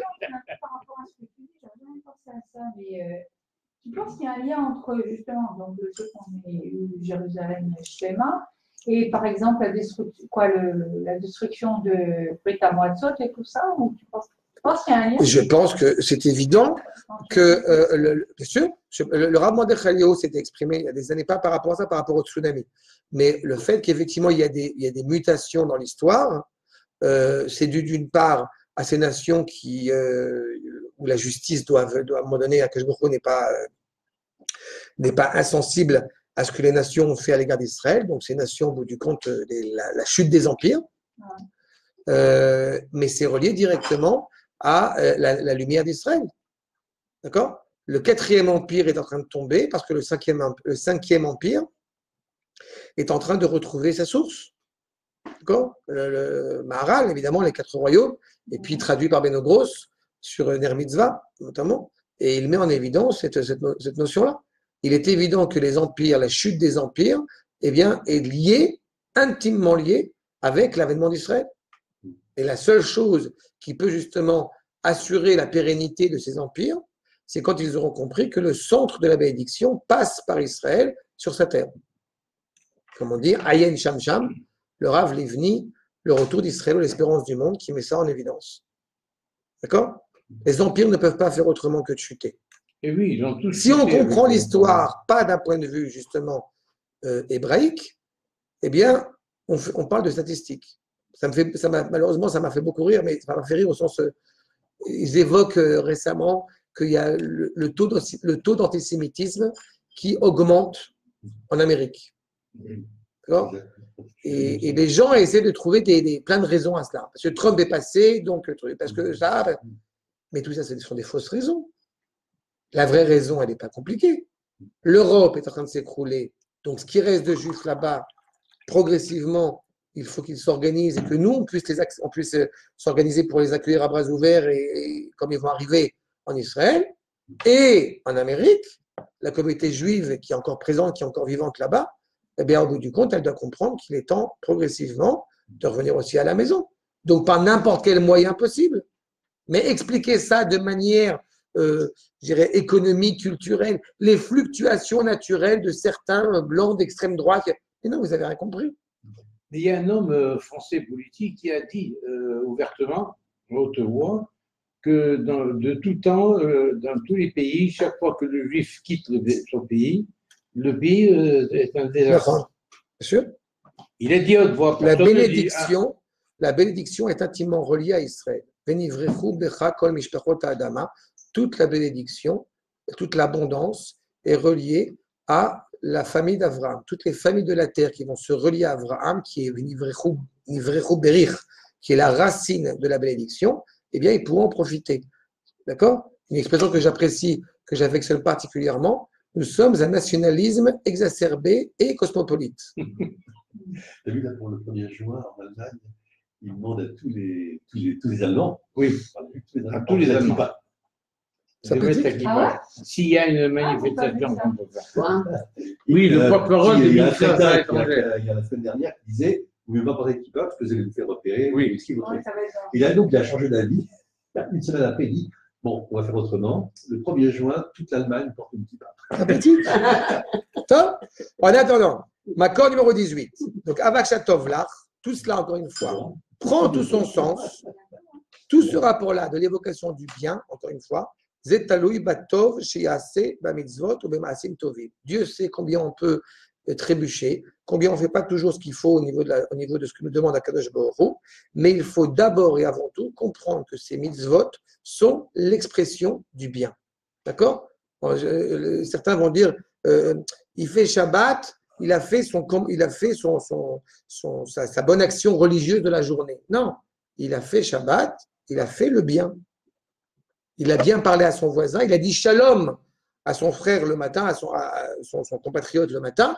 Il a accompli une mitzvah, parce qu'il y a une mitzvah, euh, Boaz, qui renouvelle cette mitzvah, de dire à Shaimachem, de dire le nom d'Akadosh Hu à son prochain. Et j'ai expliqué dans, un autre cours sur Megillat Ruth, ou pourquoi est-ce que Boaz renouvelle cette mitzvah, euh, fait un chidouche à ce moment-là, parce que il y avait malheureusement des problèmes de vol et problèmes de, malhonnêteté dans le commerce, et en disant shalom, en disant Hashem imachem, on veut qu'il y ait justement une fraternité, une cohérence, une droiture aussi dans le commerce. C'est-à-dire qu'à tous les niveaux, on peut arriver à ce bien quand il y a justement la volonté d'abord, et puis après la mise en acte, d'une cohésion, d'une droiture. D'accord? Pas toujours évident dans certains euh, endroits de parler avec droiture, mais il n'empêche que oui. Quelqu'un m'a demandé est-ce que j'ai le droit, c'était quoi sur quoi il m'a demandé? Est-ce que j'ai le droit de travailler dans un, dans un endroit? Euh, Ah oui, voilà. A posé une question qui était délicate. Un, un jeune homme qui, qui devait travailler dans un magasin de maillots de bain pour hommes et pour femmes. Et, et il est proche de la Torah. Est-ce qu'il est judicieux qu'il y ait quelqu'un qui a une kippa sur la tête Il travaille dans un magasin de maillots de bain pour femmes? Et je lui dis non, c'est un problème au niveau de la pudeur. Mais est-ce que ça veut dire qu'il faut détruire le magasin? Je n'ai pas dit c'est d'abord, je pas détruire le magasin, c'est mais, Ça, c'est des fins qui. mais, le- mais c'est un problème. Oui, C'est bizarre qu'ils prennent un, un vendeur pour des choses. Je trouve aussi. c'est comme les vêtements. pas la. Mais, mais encore une fois, d'un point de vue de la cohérence, quelqu'un qui, quelqu'un qui, encore une fois, qui est proche de la Torah, il y a des réalités qui existent. Oui. À la vérité, je vais dire un truc qui n'a rien à voir. Je ne suis pas certain qu'une jeune femme serait à l'aise si c'était un vendeur qui lui proposait des maillots de bain pour féminin. À la vérité, à côté de ça. Mais d'un point de vue point de vue déontologique. Mais à côté de ça, je me vois mal, enfin moi c'est pas shoot, mais je me vois mal un garçon qui a une kippa sur la tête et qui est en train de proposer à vendre des maillots de bain à une clientèle féminine. Je trouve que Oui. c'est- France, incohérent. Quoi. En France, il y a- Comment ils peuvent un procès comme ça. Une personne a refusé de- d'embaucher une voilée pour vendre de la lingerie Ah féminine. ouais, Je pense ouais. que c'était une marque quelconque. Parce qu'effectivement, elle estimait qu'une voilée qui. qui- Ben, ça à côté un peu, oui. Imagine un homme. Oui, mais, là, mais je pense qu'au niveau, encore une fois, mais je veux dire, ça va même plus loin que ça, parce qu'au niveau de la parnassa, c'est aussi loin que ça que malheureusement, quelqu'un qui vendrait des produits non cachers en Israël, on n'a pas le droit de détruire son magasin. Il y a quelque chose de problématique derrière, en plus. Évidemment, très problématique. Mais, mais ça n'empêche que c'est un problème en Israël. De, de- de- D'accord? à Weissmann, je vois ce magasin. Ça passe par cette évocation, justement, de choses positives, de bons actes, de mitzvot, de maasim tovim. Il y en a un autre qui est à Lochamé aussi. de À. Lochamé à Geta aussi. Ouais. Bon, parce que C'est un problème. Là, c'est un problème. Euh, euh, on rentre pas dans un endroit qui n'est pas caché, alors, qui est tarif, c'est contribuer au bout du compte à ça. C'est un problème. En tous les cas, Pas- S'il n'y a pas le cachère, on ne rentre pas. Bon, en plus, après Pessa, il y a tout près de ces Mechirat Rames qui rentrent dedans aussi. Mais de manière générale, quand c'est en plus un, un ma- un magasin qui vend mamage des produits non cachers, c'est évidemment un problème. Ah Même qu'il a des de produits cachers, mais il n'y a pas écrit dans le magasin cachère. mais- rentre je dis, voilà, c'est un problème. Rentre. Encore une fois, c'est parti justement Même acheter de l'eau. Mais ça On montre bien que la volonté, quand on parle d'acte, je ne suis pas en train de, de dire, je ne veux pas que vous pensiez ça, je ne suis pas en train de dire que quand il y a un attentat, c'est parce qu'il y a quelqu'un qui n'a pas mangé cachère. Je ne suis pas en train de dire ça. Certainement pas. Je dis simplement que il est évident que pour que ce bien soit évoqué, on revient à ce que j'évoquais déjà au début de cette, de cette, de cette sikha, sur le fait que ça part justement de la compréhension de l'acte que nous faisons. Aux yeux de certains, euh, d'être pointilleux à voyager ou ne pas voyager Shabbat, ça va, c'est pas un truc très important. Et pourtant, on s'approche de Shavuot, et dans les dix paroles qui sont données au Arsinaï, l'une d'entre elles est, est l'importance de faire Shabbat. J'ai dit une fois à quelqu'un, tu te rends compte que le fait de faire Shabbat est avant l'interdiction d'assassiner.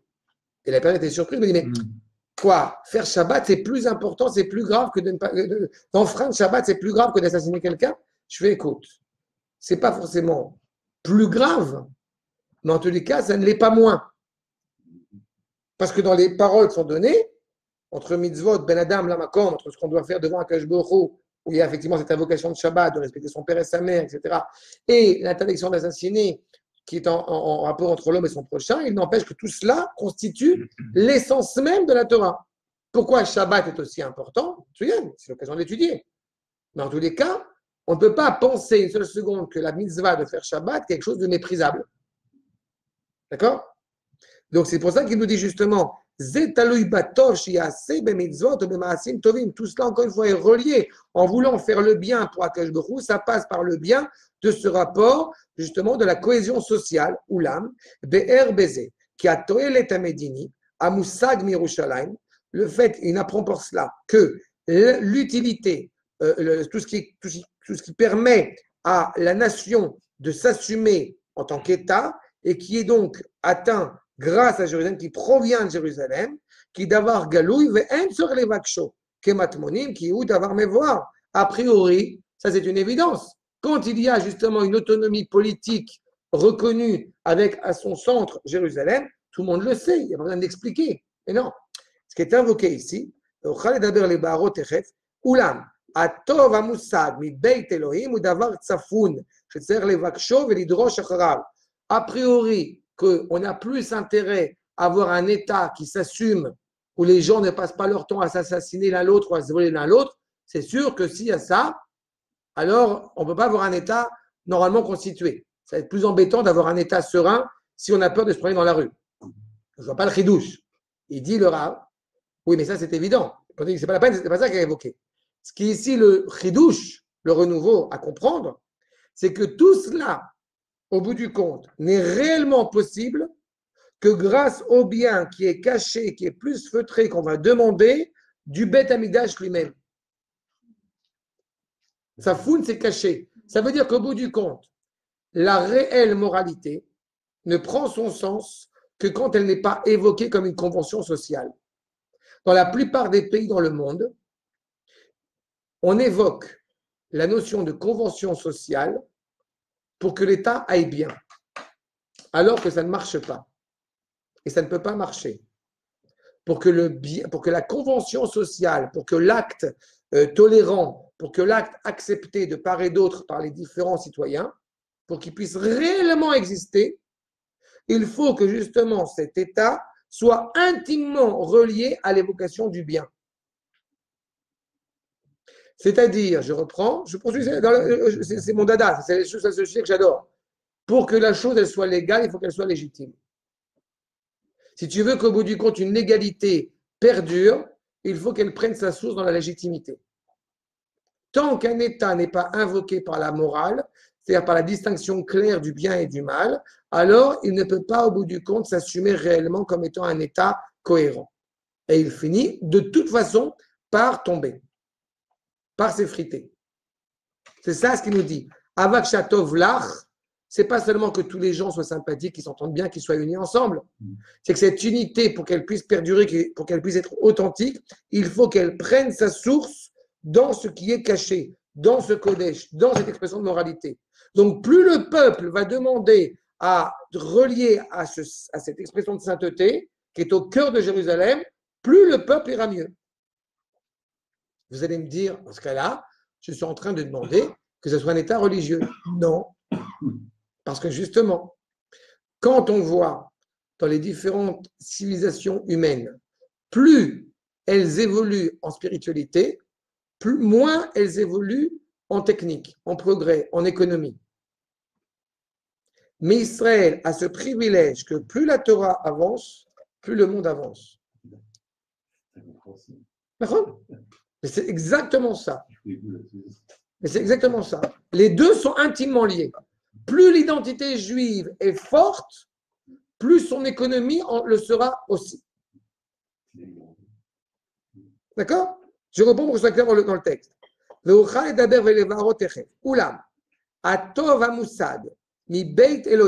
Le bien qui est atteint, qui prend sa source dans le Beth Amikdash. Mi beit Elohim. Ou davar tsafoun, c'est quelque chose de caché, qui n'est pas visible à l'œil nu. Chez Tsarich Levaksho, qu'il nous faille demander, velidoro shacharav. Il faut que le peuple désire. Qui inyanim Elohim, les choses qui proviennent d'Akash directement, lo yosegu, rak, c'est-à-dire ela, achar adrisha v'achipus. Pourquoi est-ce que le monde en Israël, pourquoi est-ce que le peuple n'est pas tous animés par la Torah? Parce que la grandeur d'Akash Baruch c'est aussi son humilité. Il ne veut pas s'imposer là où on ne veut pas l'accepter. C'est terrible. Il faut que justement le peuple souhaite cette présence d'Akadosh Baruch. C'est pour ça que l'État d'Israël, euh, euh, alors que certains euh, le craignent terriblement, mais c'est pour cela que l'État d'Israël ne peut pas être une théocratie. L'État d'Israël ne peut pas être l'Iran. En tout cas, pas pour le moment. Quand je dis pas pour le moment, je m'exprime mal. Oui, et c'est ne, Exactement. Mais il- je dis qu'il ne peut pas l'être pour le moment, c'est parce que il faut que la majeure partie du peuple souhaite que la Torah soit la, la- la pierre angulaire de l'État. La Torah, avec tous ses amendements évidemment renouvelés à cause des, des- des réalités de l'État. Et la Torah dans un sens un peu générique. D'accord? Tant que le peuple n'a pas émis ce souhait, nous sommes dans ce parcours, ce chemin faisant. Mais il est clair que ce chemin-là, ce cheminement n'aurait pas pu euh, même être débuté, être approché, tant que nous n'avions pas reconquis Jérusalem. Ce qui est le cas aujourd'hui. Ça veut dire qu'au bout du compte, de la même manière que Yom Ha'atzmaut, qui est la réinstauration de notre indépendance, Yom Yerushalayim est au bout du compte la réinstauration du cœur de la nation. Puisque maintenant nous avons un cœur qui bat, maintenant il faut commencer à l'entretenir pour qu'il puisse battre au mieux. D'accord? Étrangement, j'ai envie de dire, mais deux événements euh, euh, qui n'ont rien à voir, je entre eux, mais qui sont intéressants. Le premier, c'est que Shmuel Anavi, on nous disons traditionnellement, est décédé le 28 Iyar, c'est-à-dire le jour de Yom Yerushalayim. Et Shmuel c'est quand même le père de la royauté, le père de l'entité. Mhm. Et puis la deuxième chose qui se passe 2000 ans après, c'est qu'il y a un autre Cohen, le Rav Kook, qui va euh, euh, monter. Il semblerait que ce soit en fait le 27 Yar, mais bon, on a dit 28. Le 28 Yar, que le Rav Kook soit monté à Jérusalem le 28 Yar. C'est le premier penseur qui va repenser justement l'élaboration de la nation hébraïque animée par cette sainteté. Eh bien, justement, c'est le Rav Kook. Et voilà que ça se passe aussi le 28 Yar. Donc, il y a vraiment comme ça une sorte de, rencontre des événements qui est particulièrement émouvant. Et puis je terminerai par le fait que le Grand de Vilna avait évoqué l'idée qu'il y avait deux, dates- privilégiées pour la délivrance d'Israël, à l'époque où le Grand de Vilna s'exprime. Surtout, il dit, vous ne le dites à personne.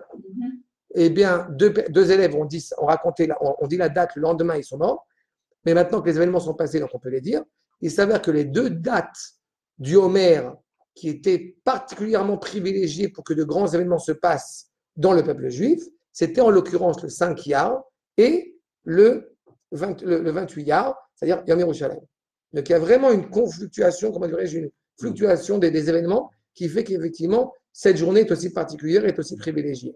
En tous les cas, il ne faut jamais oublier les propos du Rabbi Tzadok de Lublin, c'est que le jour porte en lui en potentiel la grandeur de l'événement, mais nous avons la liberté et le privilège de pouvoir révéler l'événement qui est inhérent à lui.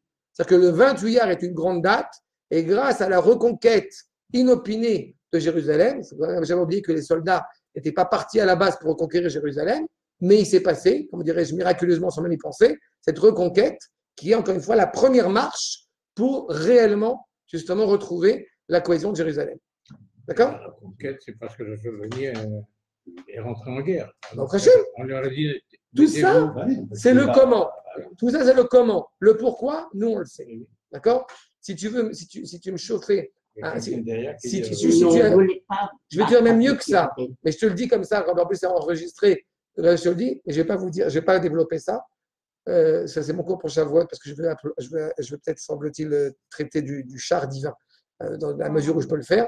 Mais juste que tu saches que les soldats qui rentrent par char à Arayot, Mhm. d'accord euh, Arié, un des animaux qui est présent sur le char divin. C'est ça Alors tu vas me dire, il n'y a pas de char de, de Behemoth, de Shor et de ça. Oui, mais c'est pas un hasard. C'est pas un hasard que le lion re- encore une fois, le retour de la royauté, puisque Arié, c'est relié à la Malchoute, c'est pas un hasard s'ils sont rentrés par cette porte-là. D'accord? C'est-à-dire que quand on explique le pourquoi, et quand on explique le comment, alors oui, le comment, il y a les Jordaniens qui ont déclaré la guerre, ça c'est le comment. Le pourquoi, c'est parce qu'il était temps, 19 ans après, encore une fois, qui est en soi aussi un cycle, 19 ans. 19 ans, c'est par rapport aux années de Shemitah, aux années de, de, de solilunaire, l'unité entre l'année solaire et l'année lunaire, où il faut 19 ans pour retrouver une cohésion. Vous savez qu'il y a- vous savez qu'il y a à chaque fois, euh, le- il y a trois- l'année solaire est de 365 jours, l'année lunaire est de 354 jours. D'accord? Et on sait pertinemment que, eh bien, euh, euh, pour pouvoir avoir cette unité, il faut qu'à chaque année, on rajoute, Euh, Il y, a, il y a y a- il y a 11 jours qui restent en suspens. Donc, première année, 11 jours. Deuxième année, 22 jours. Troisième année, euh, euh, t- euh, 30, euh, 22, euh, 33 jours. 33 jours. Troisième année de, dans, dans l'année hébraïque, on rajoute, on fait une année embolistique, on rajoute un mois. C'est-à-dire Et comme ça, euh, euh, au fur et à mesure, chaque fois. Donc ça reste encore 33 jours, donc il y a encore 3 jours en suspens. Au fur et à mesure comme ça. Et au bref, quand qu'on arrive à l'année 0 Après 19 ans, où il y a la réelle unité entre l'année solaire et l'année lunaire. Donc là encore, je pense, modestement, que ce n'est pas non plus un hasard si après la déclaration d'indépendance, après le retour du peuple juif en terre d'Israël, il faudra 19 ans pour retrouver cette cohésion et cette union. D'accord? Comme quoi, encore une fois, tout se relie à chaque fois dans euh, la tradition hébraïque et même l'histoire contemporaine de notre peuple. Il n'y a rien hasard. hein. Euh, Alors, évidemment, comme on avait parlé tout à l'heure, que ce cours, Baruch Hashem, est pour les refouatos, Jacob, pas dédié, Hashem, refouatos de Yaakov, Uzan, Uzan, Ben Sarah Imenu, Ben Moshe. Ben Moshe. Tu n'as pas le nom de la mère.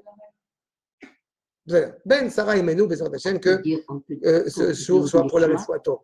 Et les Ibadel, quel- Leilu les Nishmat, Nishmat, Meshulam Ben de Yaakov. בעזרת השם, שיזכה אה, מקום בגן עדן כמה שיותר. טוב, עד כאן, שלום, כל טוב.